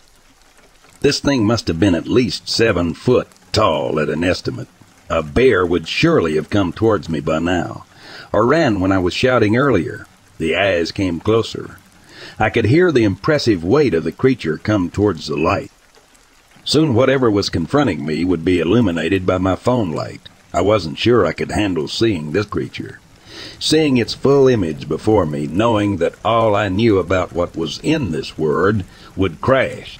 To have my notions of what I thought was not possible stare me directly in the eye. My spine practically shot through my back when this beast tossed the first stone. It was a small pebble like those that decorated the nearby beach. I could tell that it didn't throw that pebble hard, but the damage to the wall from the small lob showed just how powerful this entity was. I was on the wooden floor. I had fallen backwards and was now making my way back to the screen doors when my hand slipped on something small and round, causing me to fall onto my stomach. As I came to, I noticed that I was surrounded by apples. Green and red Granny Smith supermarket apples. What the F was this? To my right, beneath the indent that the pebble had made on the wooden wall, was an upturned basket I hadn't noticed. I quickly grabbed my phone, rose to my feet, and quickly shone my phone light towards the trees. Maybe I slipped on the upturned apples and knocked my head. The eyes were waiting, staring. Another pebble landed in front of me. I knew that if I turned and ran this thing would either leave me alone or charge, I was skeptical at the odds being strictly 50-50. It didn't seem to be trying to hurt me. Maybe this was a communication. I picked up a nearby apple and tossed it towards the trees. Another pebble my way. So I tossed an apple. Again, another pebble knocked against the wooden railings next to me. Two more apples resulted in two more petals. This teat for that went on until most of the fallen fruit was gone. Why did I do this act of exchange? I cannot say. I was so exhausted from fear that I acted without rational mind. Like I was guided to do by something outside myself. The pebble stopped. I took this as a cue to step back. The eyes remained stationary and there was no sound. I took another and two more until my back knocked against the sliding doors. The eyes remained focused. I quickly slid open the sliding door and maneuvered my way backwards inside the cabin. As soon as I was past the dividing line between the complex and the patio, I slammed the door shut. Before I could sprint to my truck, I could hear what sounded like loping footsteps combined with heavy breathing. I couldn't move. My throat shut in fight or flight mode seemed to crash like a malfunctioning computer program. Suddenly I could hear a large commotion through the foliage. The commotion grew smaller and quieter as the elongated seconds passed by. I opened the sliding door slightly and saw nothing. No eyes, no glow. No apples either. The yard was a barren as it was the morning I first set eyes on it. The feeling of safety fell upon me like a fire blanket over a blaze. I crashed on the couch and marveled at the sense of peace that naturally arises when you know that you're no longer in danger. In front of me was the wildlife guide I had discarded before all of this and a small post-it note. The note was from the previous owner. Hey there, sorry for taking so long handing over this place. I can assure you that it was as frustrating for us as it was for you two. Lawyers? There's an orchard two miles from here and we pick apples every summer. Left some for you guys out on the patio. It's not much, but hopefully we can let bygones be bygones. Enjoy your new crib. Well, we didn't get any apples, but at least something is enjoying them. I took my phone out to call the missus and ask when she would be home when my eyes were drawn back to the wildlife mag. I had thrown it at an angle and could make out a sketch on the page. Lifting the magazine, Oregon Flora and Fauna, I saw a rough sketch of an enormous man on a page. More ape than man, but the stare gave it away. Sasquatch, Yowie, Bigfoot, Wood Ape, chance of sighting, very rare. Food, do not feed. Sasquatches will take this as an invitation and will be back. There is a ghost town high up in the Montana mountains, not far from Yellowstone. Few people know about it. The only road in and out fell into disrepair long ago. To get there requires an intermediate climbing skill set.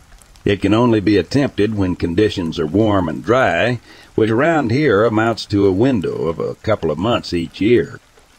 My grandfather spoke of it once. The story lacked detail, the particulars lost in the fog of memory, and Pop was never one to embellish once his recollection failed. It was a story he heard as a boy of a silver mine up in the mountains, of a creature that called the forest home. It was no bear. It was no wolf. Whatever it was refused to share the land with the miners and the fledgling town built to support them. What followed was a massacre. The survivors abandoned the town and never returned. Last summer, Taylor and I hiked and camped for a week within Yellowstone National Park. We lucked out with the weather. We went off grid and loved every minute. The last night, beside a whispering fire, we promised we would do it again. As the firmament above turned about the North Star, I told her about the ghost town. She breathed the Tory in. That's where we would go. A harsh winter is rendered tolerable by the promise of spring. It was the summer, though, that held my attention. A long break from school and a week in the mountains. It is a rare treat to do precisely what you most desire. The warmth of the sun brought with it an unbridled giddiness. The wait was almost over. We drove as far as we could, winding our way up between mountains, stripped of the white caps of winter and smeared with green and blue and brown. Taylor rolled the car to a stop on the shoulder of a lonely dirt track. The crisp mountain air tempered the warmth of the sun. We shouldered our packs and climbed. What is left of the ghost town, as far as we knew, did not amount to much. The rangers fingered it on a map, though none had been up there. The location was an inherited knowledge. My grandfather could only guess as to the whereabouts. It's up there somewhere, he had said. When I told him our plans and that it was his story that inspired our destination, a smile gave way to pensiveness. He told me to be careful. I told him not to worry. The spruce trees thinned the higher we climbed. We scrambled up a rocky shoulder and Taylor checked the map. We were making good ground.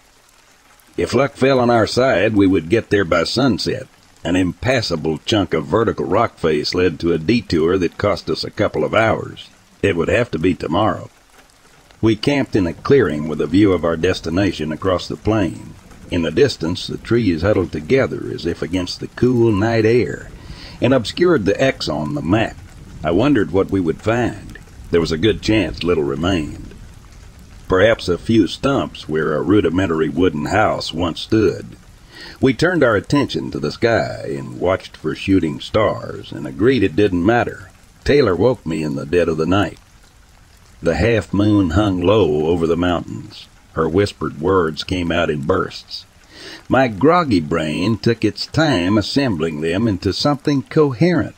She had heard something the crack of a tree branch, sharp and loud as if it had been snapped like a twig, and now there was a light in the pale silver glow of the moon. I followed her outstretched hand. Hanging just above the horizon, a yellow light flickered. It gave the impression of a candle burning in a window, except out here there were no windows and no one to burn a candle. I could only offer vague solutions an optical trick played by some atmospheric anomaly, a hunting group around a campfire, though this was not a usual place for such things. Whatever it was, it lay far enough away to pose no danger. What neither of us said is that it lay in the direction of our travel. We lay back down. For a time I opened my right eye at intervals to check if the light remained. It did. And then I slept. We barely spoke in the morning and set off in the direction of the ghost town. I was anxious to uncover a mundane explanation for the light we saw the night before. The remains of a campfire, or some hermit living alone up in the mountains. The way Taylor kept her eyes on the trees ahead told me she was thinking the same. We entered into the thick patch of forest. The trees grew close and blocked the sun. Stray branches scratched at our bare legs. The ground undulated, and I found myself instinctively following it down, and soon I was disoriented. Taylor took out the map and the GPS. Inexplicably, the GPS gave no signal, and she turned her attention to the map. I ventured forwards until my boots stubbed against something solid. After a glance down, I jumped back. A wooden stake driven into the hard earth. It had cracked about a foot above the ground, and whatever once had been above, I could only guess at. But then more emerged from between the trees. To my left, a clearing full of them, wooden crosses arranged haphazardly, dozens of them. I called out to Taylor, my voice thin and small. I stepped through the cemetery, careful not to step on the ground directly in front of any cross. An old superstition, difficult to kick. The crucifixes were rudimentary, simple planks of wood. Some were overtaken by rot, others preserved well enough to read an inscription across the horizontal member, names and dates. The congregation in the back corner contained no less than six, all with the same date, December 7, 1891. The massacre of my grandfather's story, I thought. Probably cholera, Taylor said, voicing her own explanation. If there is anything left of that town, we must be close. Beyond the cemetery, the spruce thinned and the ground rose. We crested the slope, and there it was. The remains of the town stood on a plateau of hard earth. A few of the wooden houses remained as complete structures. The timber warped and cracked and bleached the color of the ground. A few more were relieved of roofs and parts of walls, leaving a fragile relic of what had been. My eyes swept up the sloping mountain beyond where a rusted red limb of mining equipment poked above the rocks. Taylor approached the closest house and pushed the door. The gentle force tore the door from its hinge, and it slapped against the dirt interior of the house. Needles from the surrounding spruce littered the floor. She ventured inside. I lingered on the outside and examined a pair of grooves in the timber siding. Weather had worn the edges. I ran my fingers down them and wondered what could have made such marks. This is cool, Taylor said. She was right. Some of the houses contained old tables and chairs and bed frames left behind before the move back down the mountain. We found little else save a lone glass bottle half buried in the ground. We dumped our gear beside the house closest to the cemetery and set about scaling the rock in the direction of the mining equipment beyond. We found a crude staircase cut into the rock and powered to the top. What remained of the mining equipment amounted to an uh, A-frame with a bucket on rails to extract the dirt and a few abandoned picks. A shaft cut into the earth and was soon swallowed by darkness. We could only guess at the depth. I scrambled up a slope beyond and sat on a small rock platform with a lookout over the valley below, my legs dangling over the side. In the distance, the mountains looked blue. We lingered there for a time and till the sun kissed the peaks to the west. Tonight we would camp at the ghost town, and we would stay a few days. The first sign of trouble was my red windbreaker lying on the ground beside a half-collapsed house at the back of the ghost town. When we left, the windbreaker was packed tight into my backpack. Something had messed with my bag. It wouldn't be the first time. Squirrels or birds had done it before. But I was sure the windbreaker was deep down in my bag. It would take a persistent squirrel to get to it. A second option had my heart thumping. A bear. Our gear was a mess. Our clothes and sleeping bags were strewn across the ground. The small gas burner was upturned. My backpack had two parallel tiers running top to bottom. I ran my hand over them like I had the two grooves in the siding on the house. This was no squirrel. Taylor picked up her black pan and turned it in her hand. She showed me. One side buckled inwards. Taylor gripped it and pulled at the metal to bring it back into shape. It did not budge. A bear, I said. It had to be. I fumbled in my bag for the canister of bear mace. My muscles tensed and my hands worked frantically until I found it, stored where I had left it. At least we still had that. We searched the ground and looked for bear tracks the telltale wide paws and grouping of front and back legs together. I found a depression in the ground. I hovered my foot above the footprint, my shoe dwarfed in comparison. In no second print, whatever came into our camp did so on two legs, and at the base of those two legs were extraordinary feet. It can't be true. Someone is messing with us. Taylor inspected the print. Neither of us had ever seen anything like it. I looked west, and the sun was already gone, the sky turning a shade of orange at the horizon. Light would fade fast. We had few options.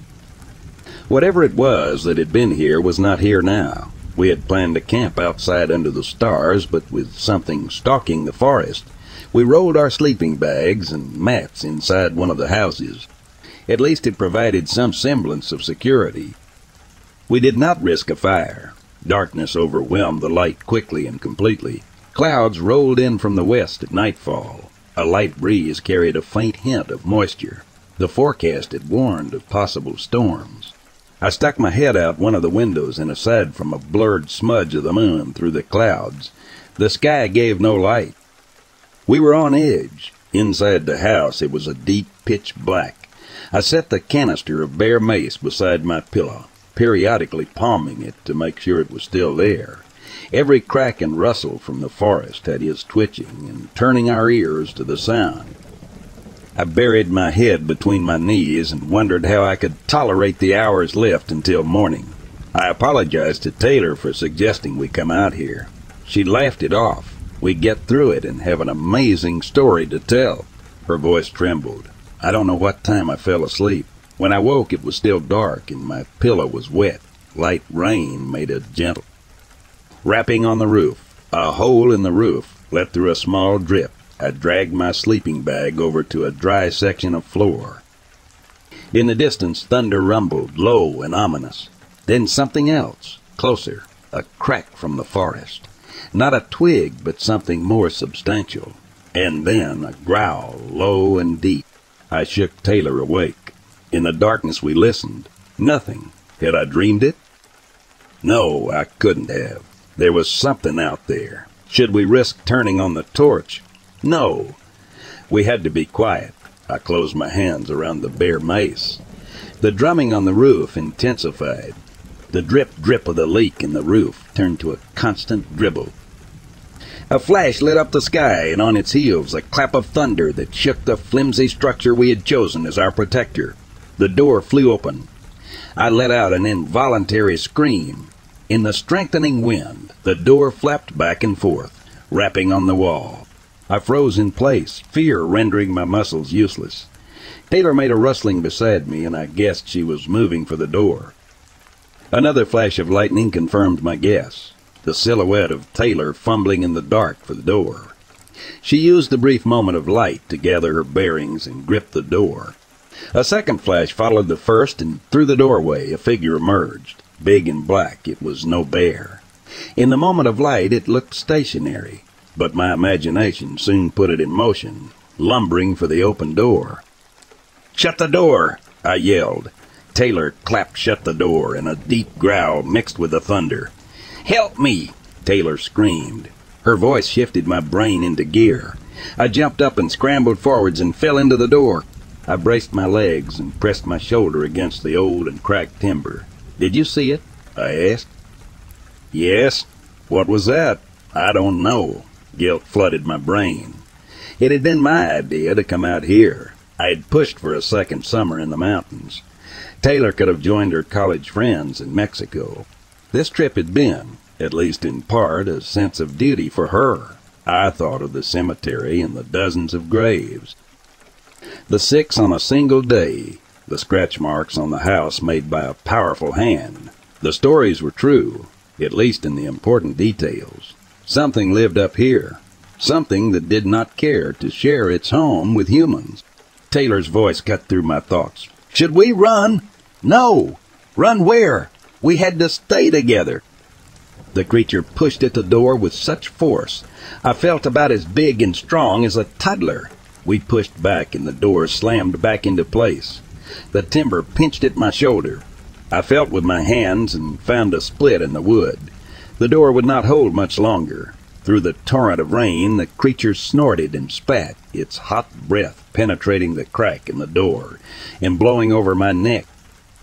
It pushed a second time, and that was enough. We fell to the ground, fragments of the splintered door clattering to the floor around us.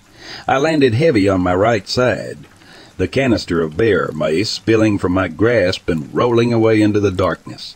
I crawled after it, feeling in the dark and expecting at any moment to be lifted in the air by my ankles.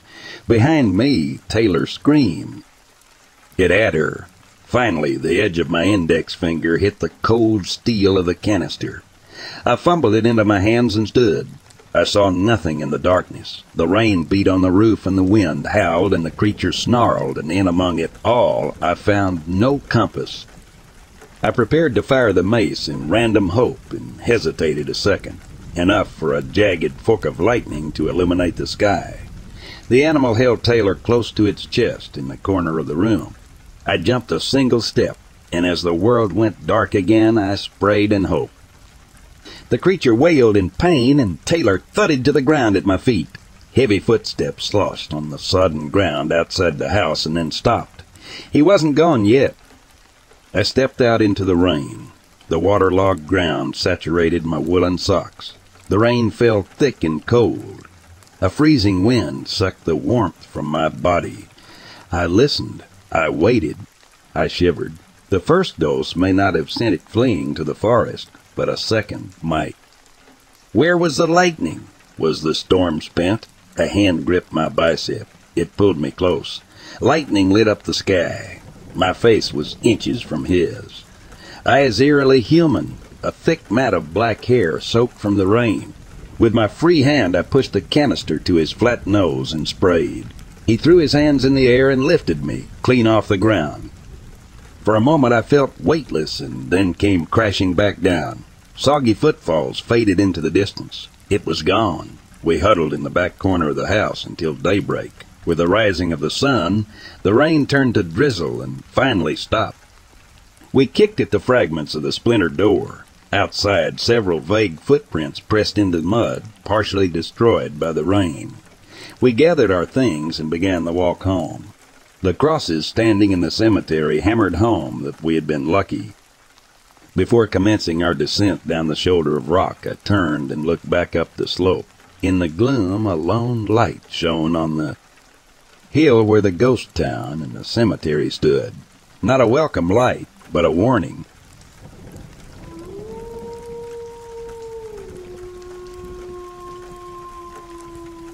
So me and my friend, I'll name them Red, went down to a bridge that was over a river. The area was pretty shaded and trees was covering the bridge.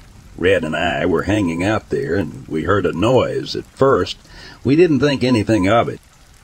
Then we heard another noise, and Red started running. I followed them. While we were running, I heard rustling to my left, and something told me to run faster. So when I ran faster, Red looked behind me, and they saw a six-foot guy with no face standing behind me. It was in the shade. He was wearing a white sweater with blue jeans. Anyway, we got to my ATV and we turned around and saw it walking the opposite way. It wasn't walking normal, it was walking like an NPC. It turned the corner on the bridge and disappeared.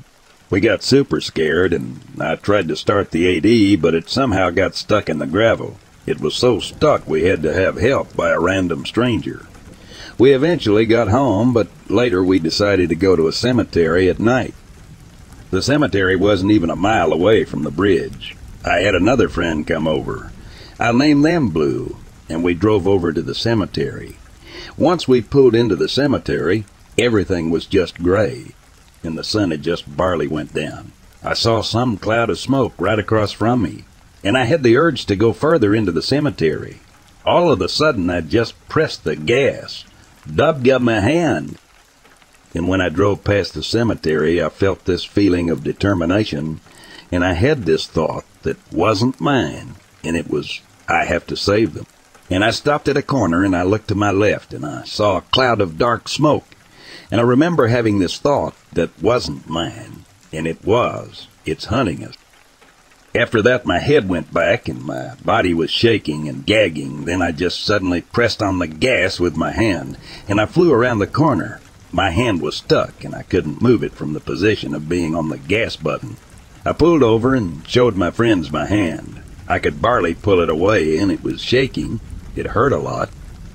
So I said someone take over. I can't drive anymore and I got up to switch with Red. But my body was thrown down and then I pressed the gas button to drive.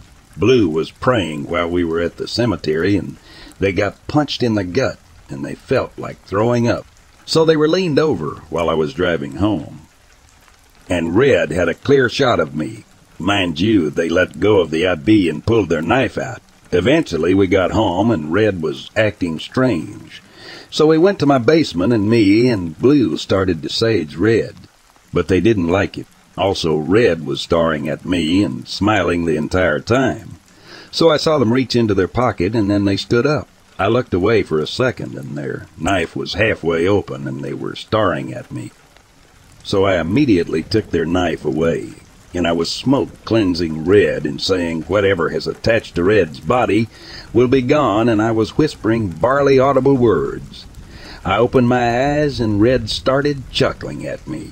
It didn't sound like their normal laugh, so I got my friend and we put a blessing on her to get that out of her and we both still feel called to go back to the place.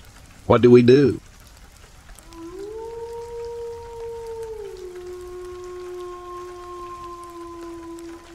A few friends and I went on an overnight hike in the Rockies behind our little town a few years back when I was in HS.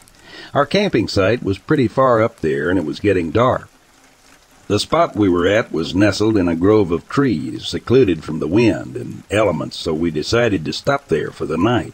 The four of us built a little fire and ate dinner, then just talked for a few hours. Then all of a sudden, my friend leaps forward and douses the fire, with our emergency water plunging us into complete darkness. Needless to say, the rest of us were pretty pissed, as there was no reason for him to do this. He quickly shushes us, and we realize he is absolutely terrified. Like so scared he couldn't even speak or move. The rest of us managed to get a few word out of him, and he tells us to look up on the ridge we're we should have been camping at. It was pretty far up, so it was kind of hard to see at first, but that sight will haunt me for the rest of my life. There was a fire, a big one, like a bonfire sort of thing. Around the fire were several figures moving in a slow circle. They were humanoid, but not quite. And in they had arms and legs like people, but something just seemed different about them that I can't really explain. Almost like the limbs were too long and skinny or something, but maybe not. Anyway, these figures just moved around the fire in a really slow circle, over and over again. My one friend claims he could hear them singing something, but I don't remember anything. Importantly, there was one standing off to the side, a little ways leaning with his arm on a tree branch above his head. It really creeped us out, but we were able to sleep it off. We figured it was a scout troop having a camp or something. Morning came and we finished off our hike to the peak, and on our way down, we passed the place we saw the figures and decided to check out the camp. It was completely deserted. It was obvious that there had been a fire and there were footprints everywhere. Inside the fire pit was a small mound of charred animal bones, probably chipmunk, and a pile of four or five rodent skulls that had been burned. Creepy, right? Then we look over at where the one figure was standing. Blood. Not a lot, but enough to be of concern, or anything but enough to be creepy. Then we see the tree branch he was casually leaning against. It was well over any of our heads, and I'm over six foot. That would mean that in order for the figure to lean against it like he was, he would need to be at least seven feet tall. Needless to say, we got off that mountain very fast, and I have never been up there again. We called the Fish and Wildlife Rangers and told them what we saw. They said it was probably just a bunch of kids messing around and not to worry about it. It might have been just that, and we let our imaginations run wild. But all four of us swear to this day we all saw the same thing, and it didn't look like a bunch of kids in the dark. I don't believe in ghosts or the supernatural, but those mountains still scare the shit out of me, and I will never go back there again. It was a chilly morning as my dad and I set out for our elk hunting expedition in the rugged wilderness of northern New Mexico. The forest was dense and overgrown, with old logging trails winding through the trees. We were in the middle of the day, still hunting with our eyes peeled for any signs of elusive prey. As I walked along the trail, I caught a glimpse of something unusual through a small window in the trees and brush. About 100 yards away, there it was. A blue day pack, like one of those Jansport backpacks, lying on a fallen tree. The sight was perplexing, as it could only be seen from the exact spot I happened to be standing. I motioned my dad over to confirm what I was seeing. To ensure I wasn't just imagining things, I quickly marked the spot where I saw the pack with two crossed sticks and a branch pointing towards it. My dad arrived at my side and squinted through the foliage, verifying the mysterious blue pack's presence. Curiosity got the better of us, and we decided to investigate further. My dad would make his way over to the fallen tree while I stayed put, ready to guide him if needed. He navigated through the thick brush and deadfall, carefully making his way to the location I had marked. As he reached the spot where the day pack should have been, he found nothing. The pack had vanished into thin air. But something weird happened. Behind him there was a creature. It was over eight foot tall, brown, hairy, and muscular. I'm skeptic when it comes to Sasquatch existence, but this one was real. Perplexed, I gestured towards him and yelled, Behind you! He didn't hurt me. Scared. I ran towards him, but when I arrived, it vanished. My dad asked me what happened. Why am I scared? And I wanted to tell him, but of fear that he'd not believe me, I kept silent.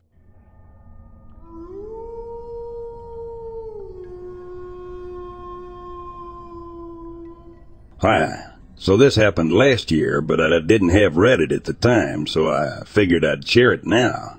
I'm confident it was a Bigfoot, but I could be wrong. So I live surrounded by the woods. We only have a few neighbors here and there. Me, my cousin, and my nephew were outside, and then they went in, so I was outside alone. I was releasing a snail we found. I released the snail, then heard my dog barking, so I looked up. There it was. By our tree line stood a figure. I don't know exactly how tall it was, but I'd say if not six feet, almost six feet tall. It didn't really have the shape of a human. We have hardly any bears in my area. And if it was possibly a bear, our dogs would be going crazy barking. But with this, they ran from whatever it was. I looked away, looked back, and the figure was gone. I quickly went inside because I was freaked out. Also a bit excited because I've always loved cryptids and Bigfoot, so the fact that I possibly saw one made me excited. But that night, my brother and his two friends decided to play hide and seek in the woods. It was at around 1 a.m. I know it's weird to be playing hide and seek that late, especially in the woods, but they did it anyway. Anyways, the next morning they said they swore they saw a figure run past them in the woods. Could it be Bigfoot?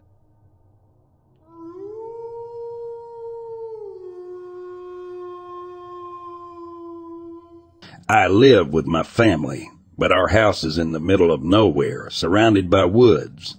During hot summer nights, we sleep with the windows open, just the bug screen between us and the great outdoors. Deer and elk sometimes bed down right outside the bedroom window because predators will not come that close to the house. We are used to hearing elk snores. Yes, they do snore, and deer wheezes in the middle of the night. This one dark summer night, though, we were woken up by something that sounded like a gibbering, demented child. It paced around the house, and we could hear the dry grass crunching right outside the window. The thing moved on after a while, but the weird semi-human noises it made were unsettling to say the least.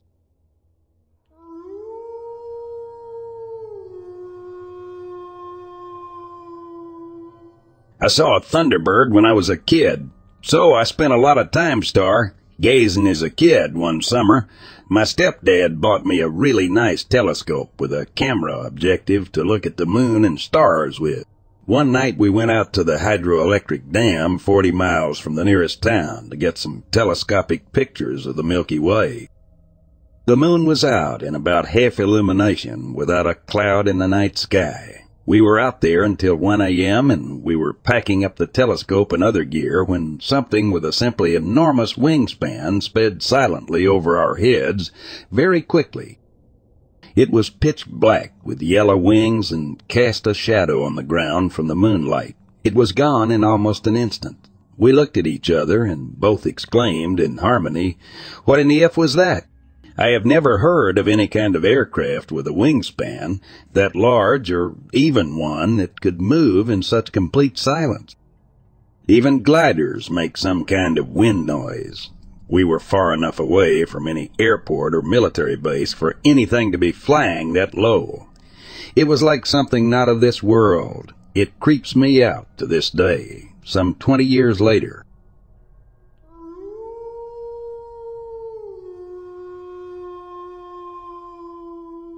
When I was 10 or 11, I was sitting at the top of a berm alone overlooking a beautiful valley.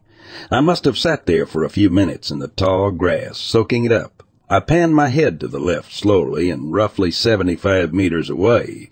I could see the ears, eyes, and snout of a dogman sitting in the grass, looking right back at me. I darted back to safety as fast as I could. But when I got there, I realized that the cougar didn't give chase. It must have just been soaking up the scenery as well.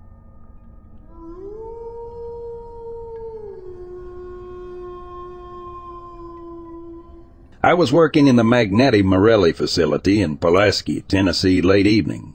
The date was January 16, 2016.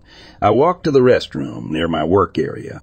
Upon entering the employee entrance, Make a left turn in the first hallway, go through the next set of double doors, and turn right until you see a heavy steel door. I walked to the restroom and no one was there. In preparation for going back to the floor, I was washing my hands. That's when I felt someone watching me. I turned to look at a shiny silver baseball cap that was flat on top. I thought it was a ghost trying to see me and jumping back quickly with the tip of the brim exposed. My eyes caught sight of a man wearing a silver suit jacket, trousers, gloves, and low-top converse, like shoes made of light gray silver shades. His eyes did not blink. He quickly turned his face in the corner of the bulkhead and was afraid, quivering as I looked at him four feet away. I said, I didn't mean to frighten you, but I'm about to leave and it's all right. I'm shy too. I'm about to be done so I can get out of your way. I walked back to wash my hands. So he peeked. I thought he must really be ridiculed and humiliated by some of the other employees. But why is he working here if so? I have never seen him on this shift and didn't hear the big heavy steel door open with the machine's noise. He was not there when I walked in. He was not a ghost and intelligently moved. He made scuff sounds with his clothing touching the wall and was a solid flesh being. Then I said, I'm leaving now, so the restroom is all yours. At a distance of about eleven feet, I walked toward the bulkhead to start my way out. Then another employee opens the heavy steel door, and the human-like entity darts from behind the wall and slides for a split second. He looks at me up and down, and at my face nervously, as if to say, You are not supposed to see me. He had long, pointed ears, and a thin, bony, pushed-up nose, and no hair around the cap edges. There was no emblem on any clothing. He quickly swung his head around to see if the employee had seen him yet. I saw a portal opening as he took those few steps between the urinal and the first toilet wall. He ducks his head slightly and leaps in to disappear. There's no way I can take this truth and the unknown to my grave.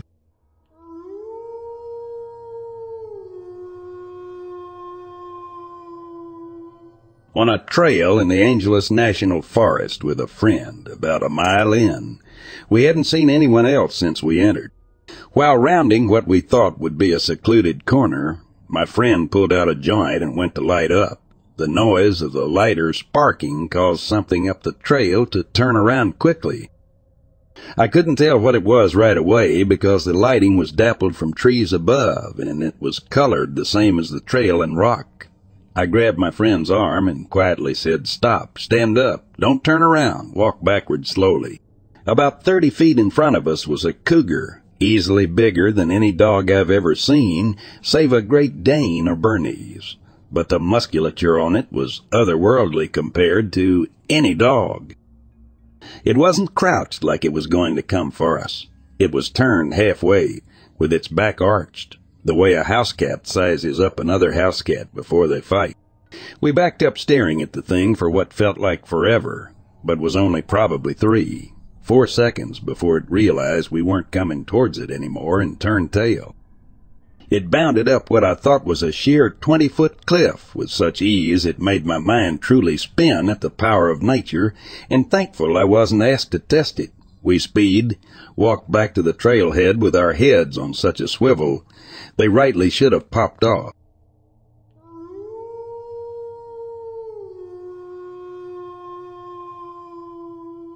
I was in Fort Lewis, Washington during officer candidate school. After a long day of patrols in the pines, my platoon had set up a cigar-shaped outpost and hunkered down for the night. I had second watch with my buddy Brian from Texas. We had set up a defensive position about 10 meters of the tip of the outpost and set up our M60 our position was hunkered on the edge of this timberline that overlooked a meadow that was about 1,000 men. Wide by 200 m or so deep, the meadow then was bordered by another thick line of timber. Now I must preface, we were in training and going to perform a raid on a simulated enemy village the next day. Our weapons were loaded with blanks, and we all had blank firing adapters on the muzzles. How the training worked is there were volunteers from other local army units who would play OPFOR and react to your presence accordingly with simulated gunfights, ambushes, reactions to contact, indirect fire, etc. Brian and I were fully expecting to get attacked that night by the OPFOR. This was a common tactic to hit when trainees were tired and visibility was poor. However, that night was a full moon and Brian and I had snuck ground coffee into our pockets for later consumption.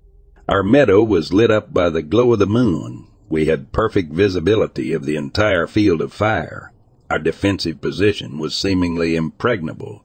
We had overwatch. We had cover and concealment, and most importantly, we were wide awake. We were ready for anything the OPFOR threw at us.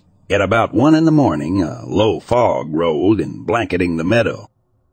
The crisp night air punctuated the clarity of the moonlight. Brian and I were watching the meadow when he tapped my shoulder. He whispered in my ear, Do you see that? He pointed his finger out to the opposing tree line, where we could see slight movement along the line. I squinted my eyes and could make out shadowy figures slowly advancing towards our position. Brian pushed the safety off the M60 and I hunkered down behind my rifle to get a better look. We counted five, no, three. No, maybe just four figures seemingly gliding out of the timber and onto the meadow. They were hunched over and slowly creeping towards us. The shadows of the trees still obscured the details of the figures. We were sure the OPFOR were conducting a raid on us and they wanted to maybe take it easy on us, but to cross an open field was ludicrous and poor form. It was just too easy. Didn't these soldiers know they were about to be illuminated perfectly by the light of the full moon, and then would be easy targets for two OCS candidates? We watched the figures get closer to the light. Only maybe 50 more meters till the shadows ended and we would have positive target ID and would engage. Brian whispered over to me, Where are their weapons? Brian was right. They appeared to be unarmed. Well, wait. Where they? They've got something in their hands. Is that a stick? I hissed back. We waited to see what these OPFOR had. The OPFOR finally crossed the shadows and entered the lit up meadow, less than 100 m from our position according to our sector sketch. The figures appeared in full visibility of us. My eyes grew big as I realized what I was seeing. The figures were dressed in dusky brown loose-fitting outfits and had what appeared to be small spears and axes. What was most unnerving was their faces were painted bright red and white, which glowed almost fluorescently under the full moon. I sucked in air. Brian screamed contact and let loose with a pig. The machine gun fire ripped through the calm of the still night air, the muzzle flash blinding us both. I lined up my sights on my rifle and fired several shots in succession of the M60. After about 20 seconds or so, we quit firing and surveyed the area. The meadow was empty. The figures were gone. Nowhere to be seen. Brian and I were both shaking. We looked around. No enemy soldiers to be seen, and perhaps even more strange, none of our platoon. Or the cadre had woken from the cacophony of gunfire. Brian and I hunkered down closer and waited for the inevitable second wave. The fog rolled out. What was that? I hissed. I don't know, Brian said. We waited for them to come back. They never did. Our watch ended after another hour of being frozen to our guns eyes peeled on the meadow. We tried to sleep, unsuccessfully. The next morning we asked if anyone heard any gunfire or commotion the night before. No one heard a thing.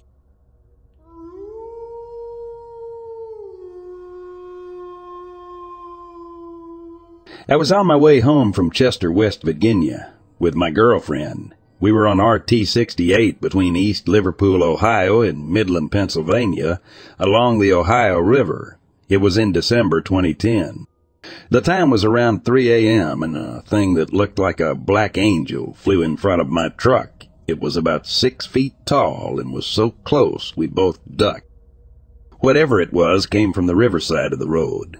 I wanted to go to the Midland police, but my girlfriend said they would think we were crazy.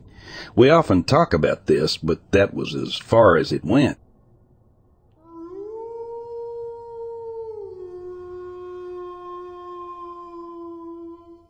One time when I was heading from Chicago to St. Louis on I-55, I had to pee really bad. Now I do this trip a lot, so I have a routine route. But this time I was traveling late at night into the early morning, so I stopped at a rest stop to pee, which is something I never do. It was a smaller one with a little playground next to the bathrooms and vending machines. As I walked up to the bathroom, a lady was sitting at a table smoking a cigarette in very trashy clothing and gave me a hey honey. I ignored her, went to the bathroom, and then headed back to my car. On the way out, the same lady was sitting at the same table, except this time with a six, seven year old girl who was dressed how a six or seven year old girl should dress. I put my head down and immediately called the police just completely creeped me out that I was most likely feet away from a child S trafficking operation.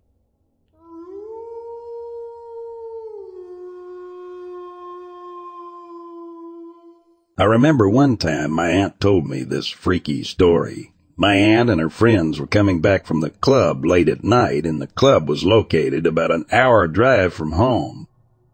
As they were driving back on the highway, they noticed a girl that was walking alongside the road. Concerned, they pulled over a couple feet in front of her, and my aunt got out to go talk to the girl to see where she's heading. But when she got out, the girl was gone. There was nowhere she could have gone since the road is surrounded by murky water on both sides. Confused and frightened, she quickly got back in the car and told them to drive.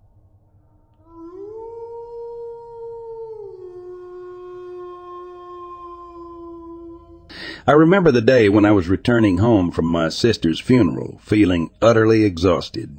As I drove, I started noticing shadows and strange movements on the road ahead, which made me feel uneasy.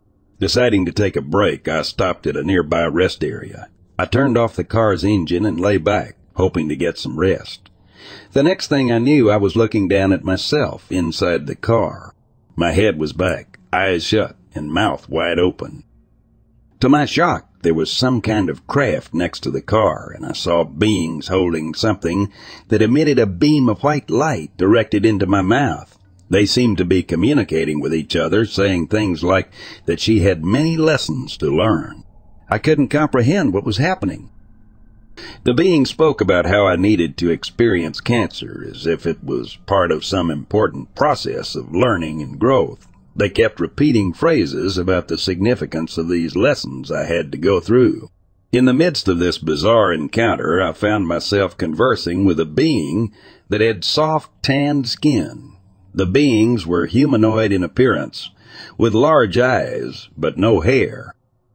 The next thing I knew, I was back in the car, and I continued my drive home. Arriving at 3 a.m., the experience left me feeling shaken and confused.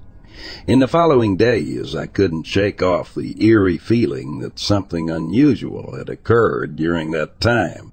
Unfortunately, in the future, my fears came true as I was diagnosed with breast cancer and underwent an operation. The memory of the encounter with those enigmatic beings haunted me during my recovery. While I managed to overcome the ordeal, the experience remains a mystery to this day, leaving me wondering about the true nature of those beings and the lessons they spoke of.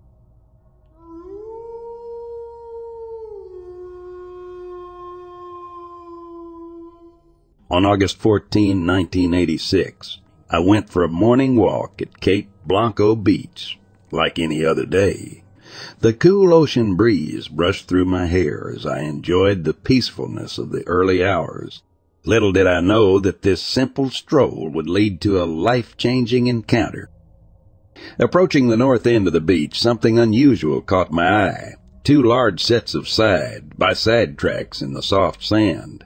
They were massive, at least 18 inches long, unlike anything I had ever seen before. Excitement and curiosity rushed through me as I wondered if these could be the legendary Bigfoot tracks. Determined to uncover the truth, I followed the tracks as they led away from the shore and into the dense forest bordering the beach. The tall trees cast shadows, and the rustling of leaves beneath my feet was the only sound. The fresh tracks confirmed I was on the trail of something extraordinary. Walking for two miles, my heart pounded with anticipation. The forest seemed to engulf me, creating an atmosphere of suspense and wonder. Despite the excitement, I couldn't shake a sense of unease, feeling like an intruder in this mysterious realm. Suddenly the tracks vanished. There were no signs of where the creature might have gone. Disappointed yet determined, I searched the surrounding area for more clues, but found nothing. It was as if the creature had disappeared into thin air. Feeling watched, I continued my search, driven by the desire to unravel the secrets hidden within the woods. Hours passed, and with the sun climbing higher in the sky, I reluctantly decided to turn back. Although I didn't find concrete evidence of Bigfoot's existence, the encounter left an indelible mark on my soul.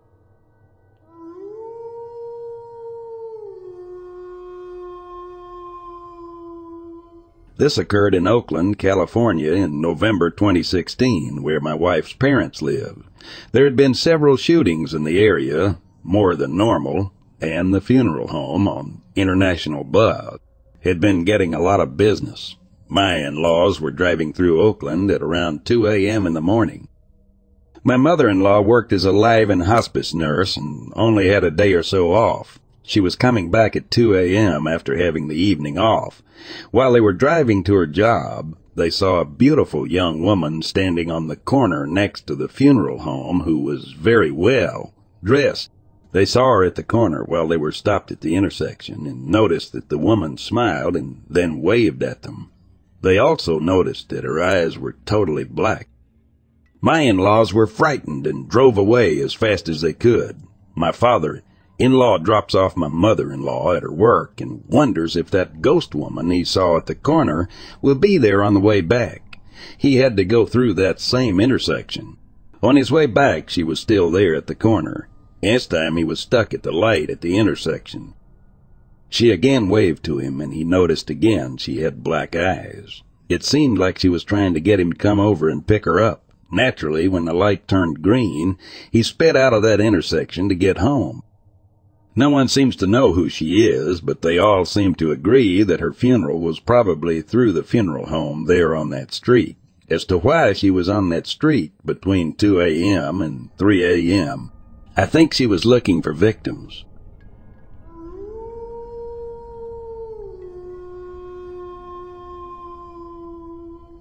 My older brother Mark disappeared when I was just seven. The last memory I have of him comes from a lazy Saturday afternoon in the summer of 2008. He was on our backyard porch with a bunch of his high school friends, eating ice cream cones and arguing about horror movies or something. I, I don't know. I never paid much attention to their conversations, but I do remember they were excited about going to their first real party later that night.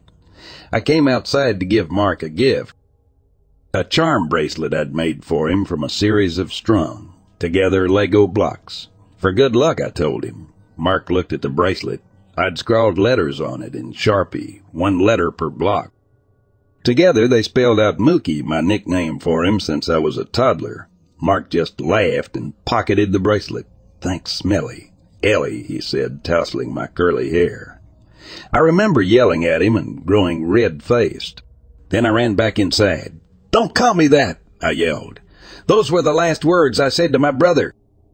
Mark and his friends were headed to the swamp soiree that night, a tradition at Bartram Forest High School. Each year, a group of popular seniors would throw a big end of the summer bash on the outskirts of the Okeechobee Swamp, a massive wilderness area in North Florida about an hour from our home in suburban Jacksonville. The soiree was basically a big kegger with a bonfire where everyone got drunk, smoked pot, and hooked up in their cars, or if they were really wasted in the mud, the area was remote enough that no police ever came by, and there were no locals to piss off. The party's exact location was kept secret, shared only to those fortunate enough to be invited. Swamp soirees were known for their lethal amounts of alcohol and drugs. The kids who threw them always came from wealthy families. They brought multiple kegs of Blue Moon or Stella, handles of top shelf liquor, bags of dank ass weed, and occasionally cocaine. Mark and his friends arrived early that night, before most others had shown up. According to his friends, some douchy baseball players pressured him into doing a 20 second keg stand. Shortly afterwards, Mark told his friends he was going to take a piss. He looked pale and sweaty, like he was going to throw up. His friend Eric told me years later.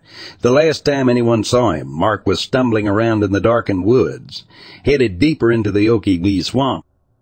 Two hours later, his friends drunkenly searched the same wilderness, calling out his name while sinking halfway into the mud. Two days later, my parents searched the area with local law enforcement. Two weeks later, a 400 person search and rescue operation combed the Okiee swamp, equipped with helicopters, John boats, and multiple foot teams. And two years later, the final official search ended, this time with cadaver dogs. No one ever found anything. It was like Mark had vanished from existence entirely.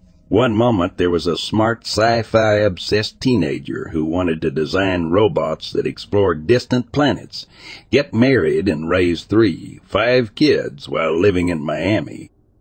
And the next moment, nothing. I never participated in an official search for my brother. I was too young. But years later, when I was in college at Florida State, I applied for a summer internship at the Okeechobee National Park, in part to look for anything that might have been missed.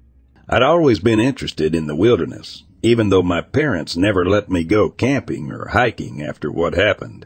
They wouldn't even let me play in the woods of our backyard. But that only made me long for such places even more. Mark loved being outdoors. Being in the wild was one of the only ways to keep his spirit alive. One of my earliest memories was of us hiking together on the trails at Guana River State Park. We'd run out ahead of our parents till it was just us in a wide green world full of sprawling oaks, wide marshes, and endless mystery. As kids, we fantasized about running away to live in the woods like a modern day version of Swiss Family Robinson. We'd never have to go to school. We could stay up as late as we wanted. It would be total freedom. When I went in for my interview at the Okeechobee Park headquarters, the head interp ranger, George Craig, saw my last name and raised his eyebrows. Ellie Brooks.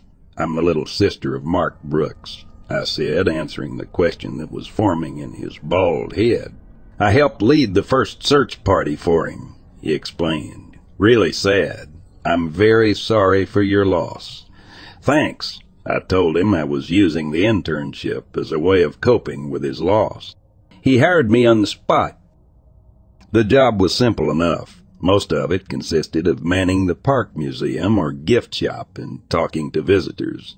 They would come in to browse the dioramas on swamp wildlife or peruse books on bird watching. The park received visitors from all over the country, but most were locals from the nearby town of Oconee, Pop, 604. They were usually older folks who were retired, stopping by day after day just to talk. These locals had all sorts of crazy stories about the Okeechobee swamp. It turned out Oconee was known for two things. Its massive paper mill, which gives the area a noxious fart smell when the wind blows north to south, and its town mascot, the infamous swamp rex. Oconee sits along the eastern edge of the Okeechobee Swamp. It's the only human civilization within 50 miles of the wilderness. As such, the town has experienced many unusual animal encounters over the years. Everyone who's ever owned a swimming pool there found a full-grown alligator floating in it at least once. Water moccasins sometimes coiled up on the town's roads to catch warmth in the winter and locals loved to say how the deer population vastly outnumbered the human one. But not all creatures could be explained. Since as far back as 1889, people in the area talked of an eight foot tall humanoid alligator that roamed the swamp at night, killing anyone who littered, polluted, or otherwise disrespected the natural ecosystem. They called it the swamp rex. Most reports stated the creature had glowing green eyes, a long, powerful tail that could break bone, and an elongated head full of spear-like crocodilian teeth. The swamp rex would hunt at night, then return to its mud hole somewhere deep inside the swamp where no one feared to tread. I first learned of the swamp rex from my older brother. As a child, Mark was fascinated with cryptozoology, the study of unverified creatures like Bigfoot and the Loch Ness Monster. He used to tell me campfire stories about the Rex when we were little, how it was millions of years old and would travel throughout the swamp via a series of underwater caves. The stories scared the bejesus out of me, but I loved every second of them.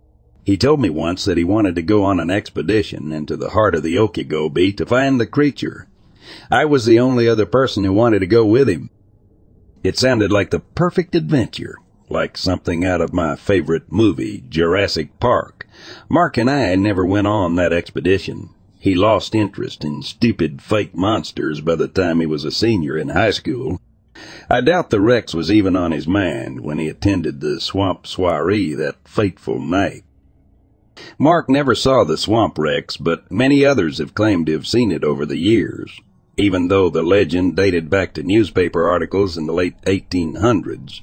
It didn't really become known until March 1989, when Oconee sugarcane farmer Bill Howard noticed a tall man wandering the edge of his property late one autumn evening. Howard lived on a remote farm on the outskirts of town, right next to the Okeechobee swamp. If it was a man, he'd have to walk miles through mighty thick woods to get to my backyard, Howard told reporters. Keeping his eyes on the figure, the farmer grabbed his 12 gauge shotgun and a camcorder he'd recently got for Christmas. I knew right away something wasn't right about it. It stood like a man, but it had this big tail and it moved with a kinda animal grace, he said. Instead of aiming his gun, Howard raised his camcorder and shot the first known footage of the swamp rex. The creature only appeared for five seconds on screen before fleeing deeper into the woods. It was somewhat hard to make out, given the footage was shot from a hundred yards away and during twilight. But even with a low resolution 1980s era camera, people could see the figure had a tail and an elongated head, just like the swamp rex stories of old. Soon afterwards, Bill Howard's footage aired on the local news and gradually spread throughout the country via cryptozoological outlets like the Weekly World News and nascent internet forums on the paranormal. Eventually, the creature made its way into greater pop culture, in the 1990s, The X-Files aired a Monster of the Week episode loosely based on the Rex, and the History Channel did a special on it for its Monster Quest series in 2009. Over time, tourists started showing up in Oconee hoping to catch a glimpse of the creature themselves. Various gift shops opened, selling all kinds of Swamp Rex merchandise, from t-shirts to mugs to alligator hats, even Swamp Rex IPA beer. People came from all over the country. Most were skeptics just looking for another wacky Florida story to tell. But some were true believers. Many even believed the Rex was involved in real-life disappearances tied to the Okeechobee area. Since 1980, over 50 people have gone missing in or around the swamp, including my older brother. The most famous case happened in the early 1990s when a wealthy land developer named Jerry Flagler vanished after witnesses last saw him in the Okeechobee area with some business partners. He was going to illegally cut down them trees, Oconee's town historian Mary Madrigal told reporters. But the Rex took him before he could. Like Mark, the authorities never found Flagler's body, by 2019, when I was working at the Okeechobee National Park, the Swamp Rex had become a vital part of Oconee lore. A cartoon version of it was even featured on the town sign. Though they didn't know my relation, many of the locals who visited the park would tell me stories about what really happened to Mark Brooks. Most of them believed the Swamp Rex took my brother because he was disrespecting the land by being at the swamp soiree how come it didn't take anyone else then? I would ask innocently. There were at least a hundred other kids at the party on the night of Mark's disappearance. The locals usually didn't have an answer to that question, or they'd make up some bullshit excuse like, well, maybe he was the only one littering. The only drunken high school student who littered? Sure.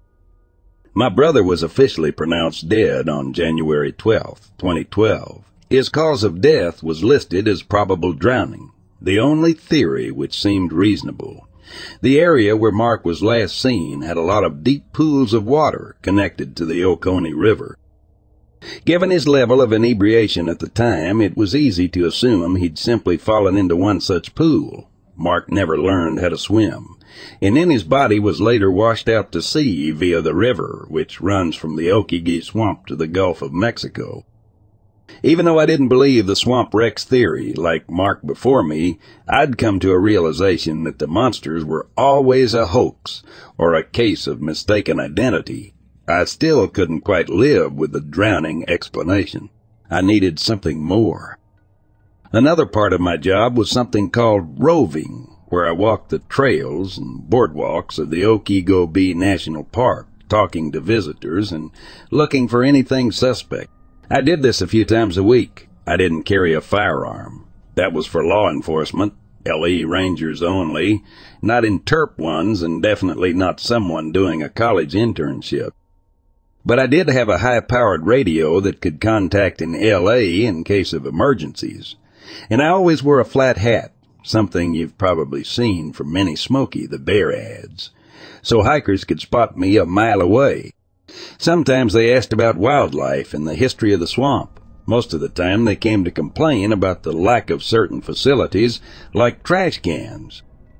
I roved the wilderness of the Okeechobee swamp for one reason. I was determined to find something, anything, any remnant of my brother's existence, even if it was just the stupid charm bracelet I'd given him the day he disappeared.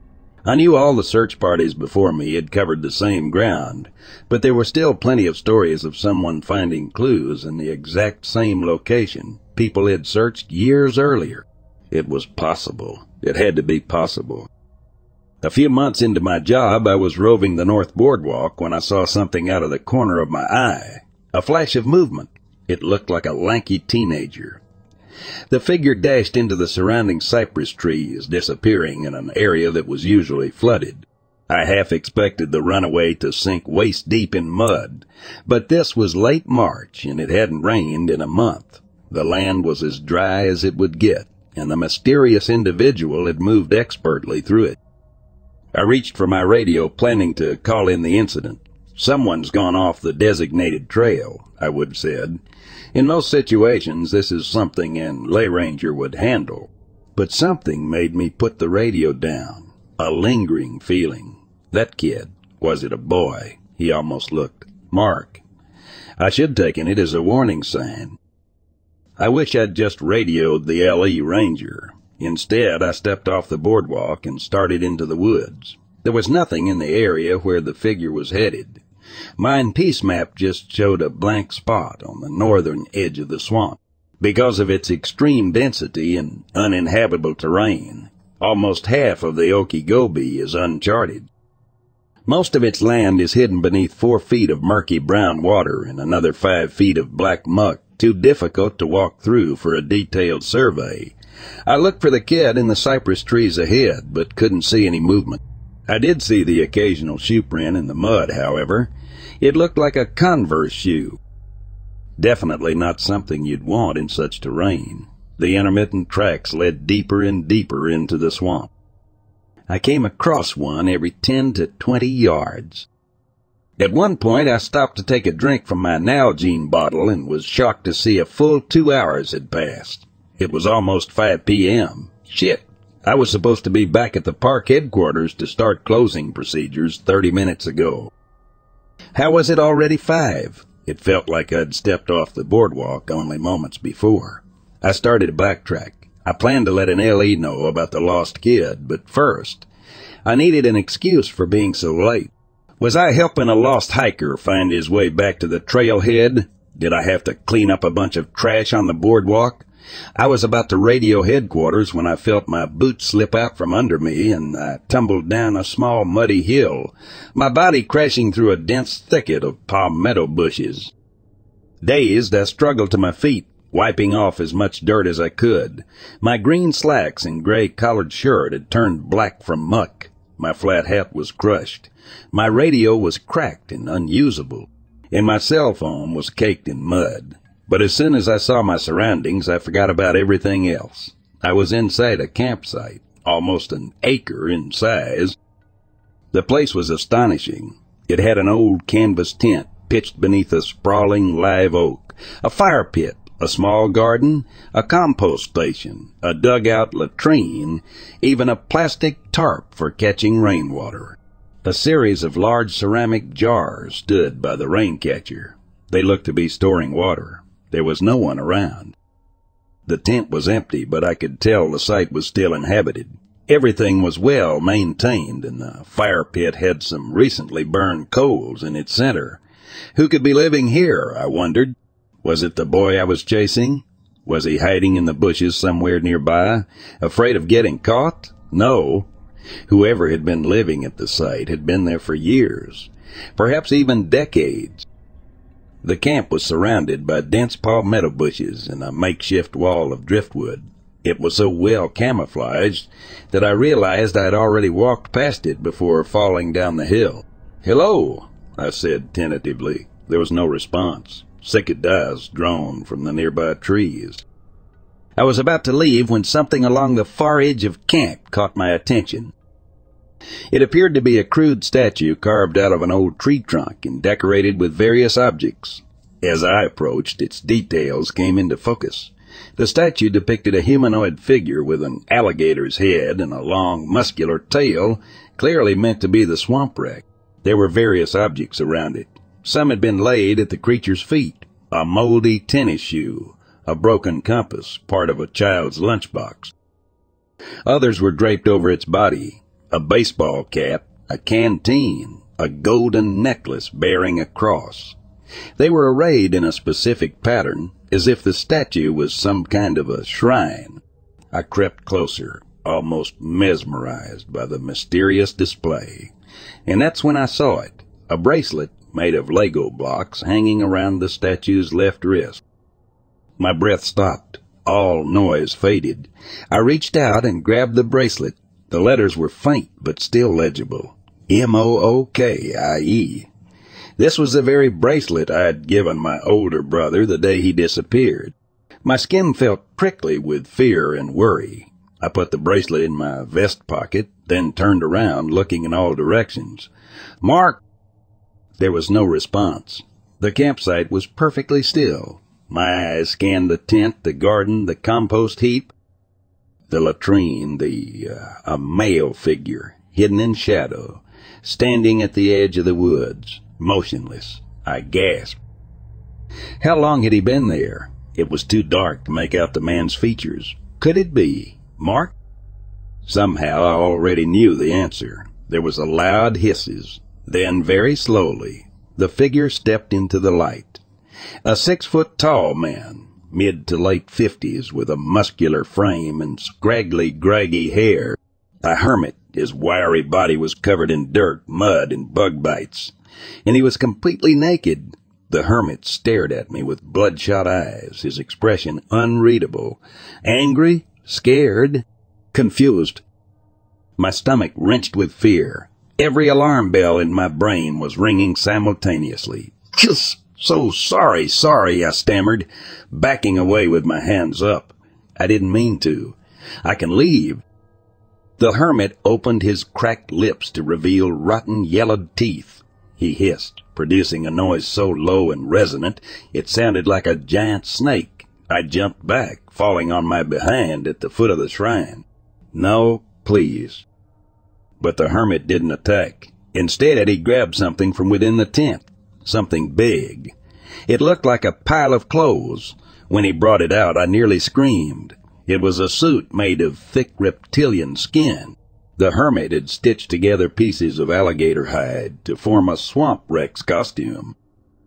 It had long sleeves that ended in clawed gloves, a hood made from a gator's skull, webbed feet, even a tail. The monster suit was ugly as sin, but also intricate, terrifying, mesmerizing. The hermit started to put it on. His movements were slow and deliberate, like this was all part of some sort of ritual. What? What are you? I crawled backwards, keeping my eyes on him the whole time. My fingers brushed against a piece of driftwood, a potential weapon. The hermit stepped forward, wearing his swamp rex suit. He looked like a mutant from the bowels of hell. The man hissed again, his voice amplified by the gator skull. It was louder, more guttural. I grabbed hold of the driftwood piece and stood up. The branch was small but solid, like a billy club. I raised it up defensively, and Mark's bracelet fell from my vest pocket. The hermit stared at the bracelet and hissed again. He took a step back. Cautiously, I picked up the bracelet with my free hand and held it out so the hermit could see it more clearly.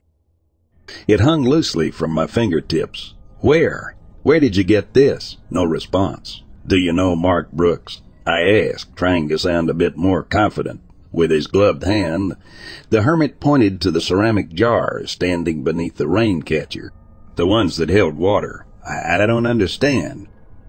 Can you, can you speak? The hermit didn't say anything. He walked over to the jars, his reptilian hands brushing across the top of each one until he tipped the last jar over. Crash!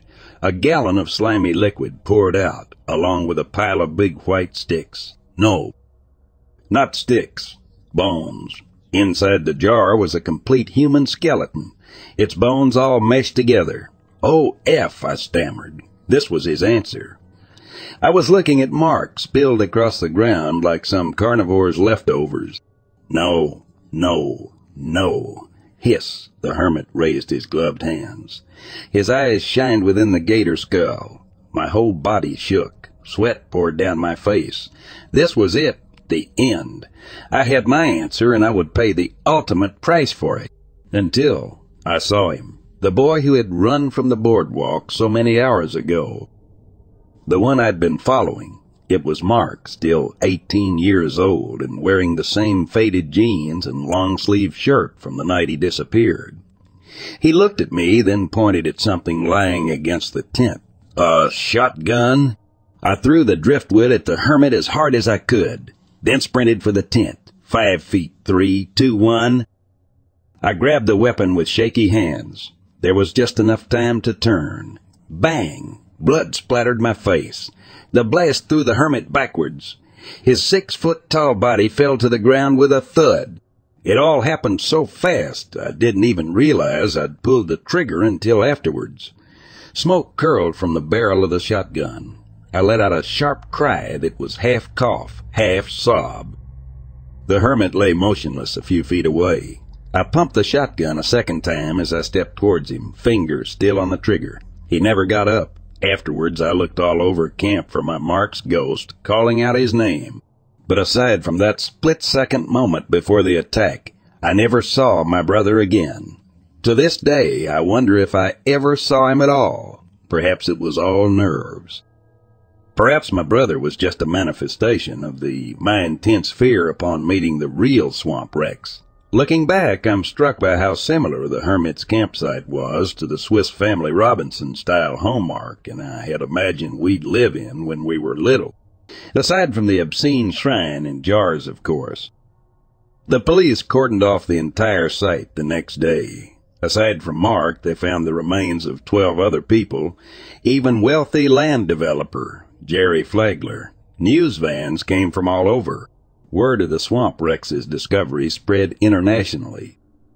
Most importantly, our family finally had a proper burial for my brother that provided some much needed closure. My parents and I wept for weeks on end. So far, the police have not been able to identify the hermit, even after analyzing dental records, completing a DNA profile, and sending his picture to various news outlets. There have been numerous theories, of course. Some said the hermit was Michael Jenkins, an escaped mental patient who vanished from a South Florida asylum 40 years ago, though the photos didn't bear much resemblance. Others claimed various serial killers who had never been caught, like the Zodiac. Some even believed the hermit was planted by the federal government to cover up the existence of the real creature, but no one came forward with any solid evidence. Nothing verifiable. The hermit has remained as mysterious as the swamp creature he had pretended to be for so many years. I've since moved clear across the country. I currently reside in the vast metropolis of Los Angeles. I don't go hiking anymore. I never go camping. I hardly ever even leave the house. But each night I dream. I dream that I'm still deep in that swamp, alone in my cold reptilian skin. I am the hermit, and the thing that worries me the most. I enjoy it.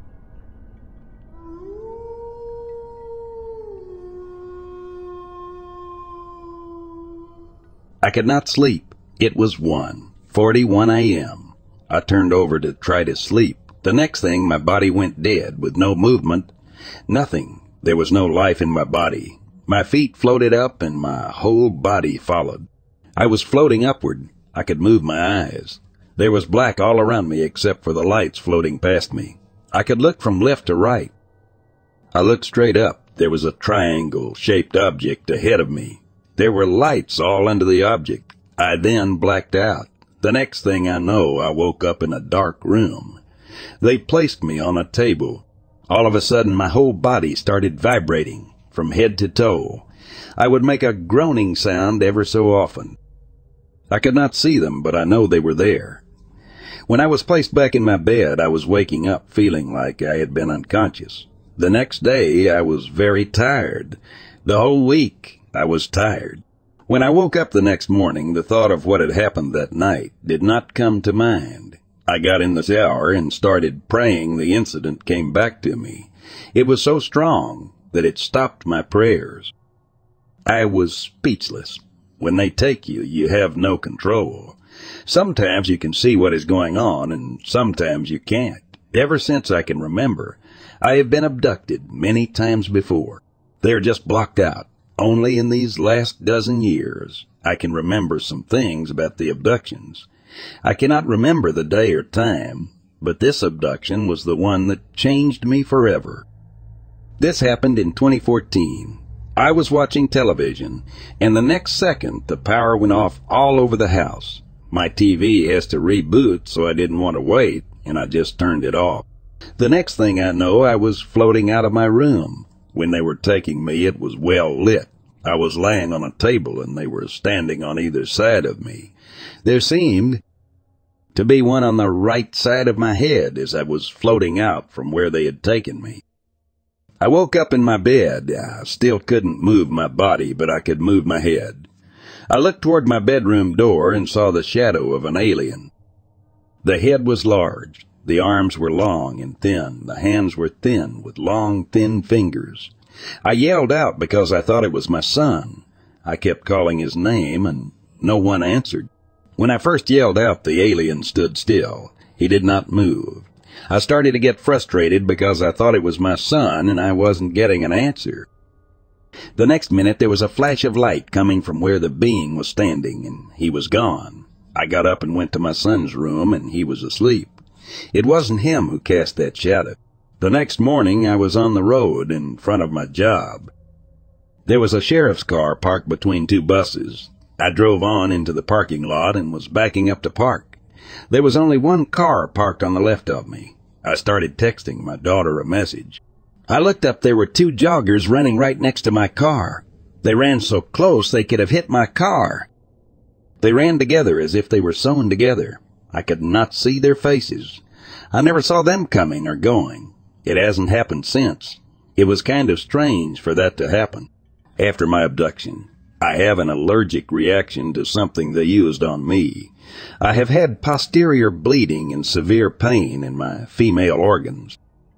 The pain is so severe I can't walk and it travels from there to my rear.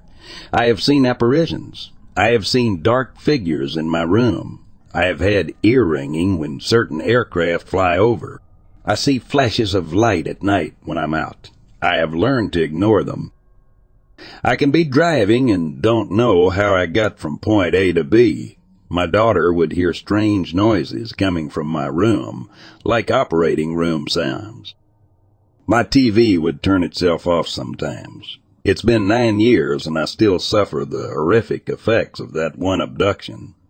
I live in Fayetteville, North Carolina. This abduction occurred in January 2014.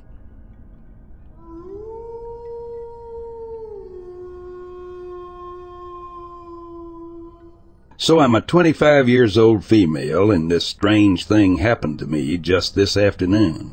I often take nice and relaxing strolls through the forest on Sundays together with my dad, which is some kind of tradition since my childhood and today was no exception. Sometimes my uncle joins us on those strolls, and today he did so too. We walked down one of our usual paths, and at a split of the path we met some old man my dad and uncle obviously knew. The man was walking the opposite direction back towards the village. They did some small talk, and then we headed further along the path through the forest, my dad and uncle being a bit ahead of me, in talking to each other while I took some photos of the beautiful nature around us, in the process walking a bit slower than them and stopping a few times. There were a few times I was a good distance behind them, which at that point I didn't realize that it could have been dangerous. At some point on the path, we turned to head back home, and as we walked a bit, I stopped for a moment to take a picture of the tree as next to the path. Then after taking the picture, I, for some reason, looked a bit left and was absolutely shocked the moment I turned my head, because farther in the forest, leaned against one of the trees, stood that old man we'd met before, absolutely still, just staring intensely back at me without any movement, and without saying a word. After the initial shock, I decided to just look away and keep on walking, not daring to look behind us most of the way back. I didn't tell my father or uncle about it, but it was just such a weird experience. What scares me the most about it is that I don't have any real explanation as to why that man had been following us, and even more, why he was doing so not on the path, but just within the forest. And if he didn't have anything creepy in mind, why he didn't say anything, but just stare. I'm just so glad that I wasn't walking alone.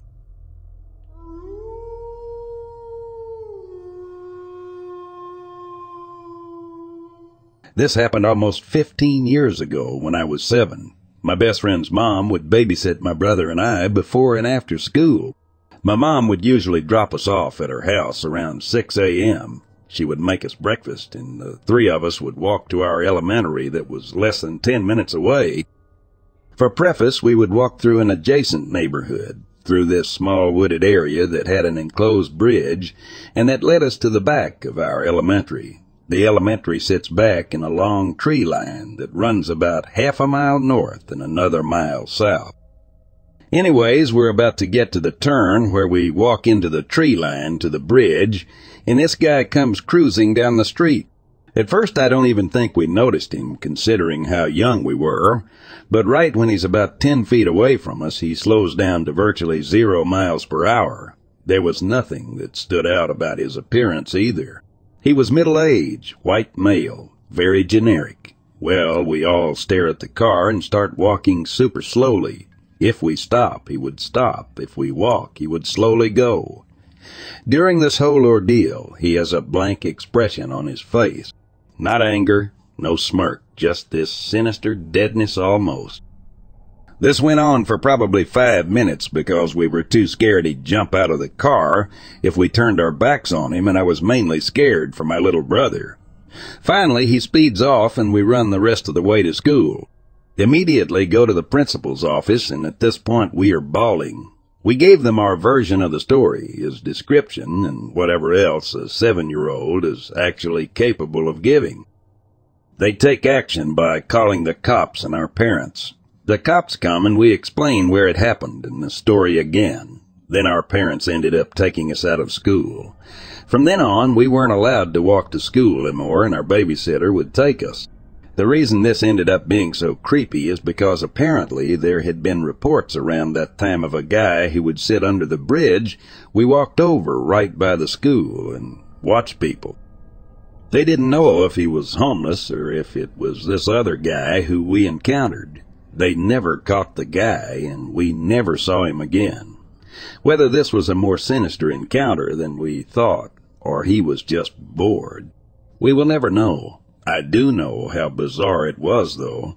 who stares at children that intently while driving by. He even turned his head around as he was driving. By his chance of luck, no other cars drove by during this whole situation. But weirdo driver, let's not ever meet again. Thanks for listening. Hope to see you tomorrow, son.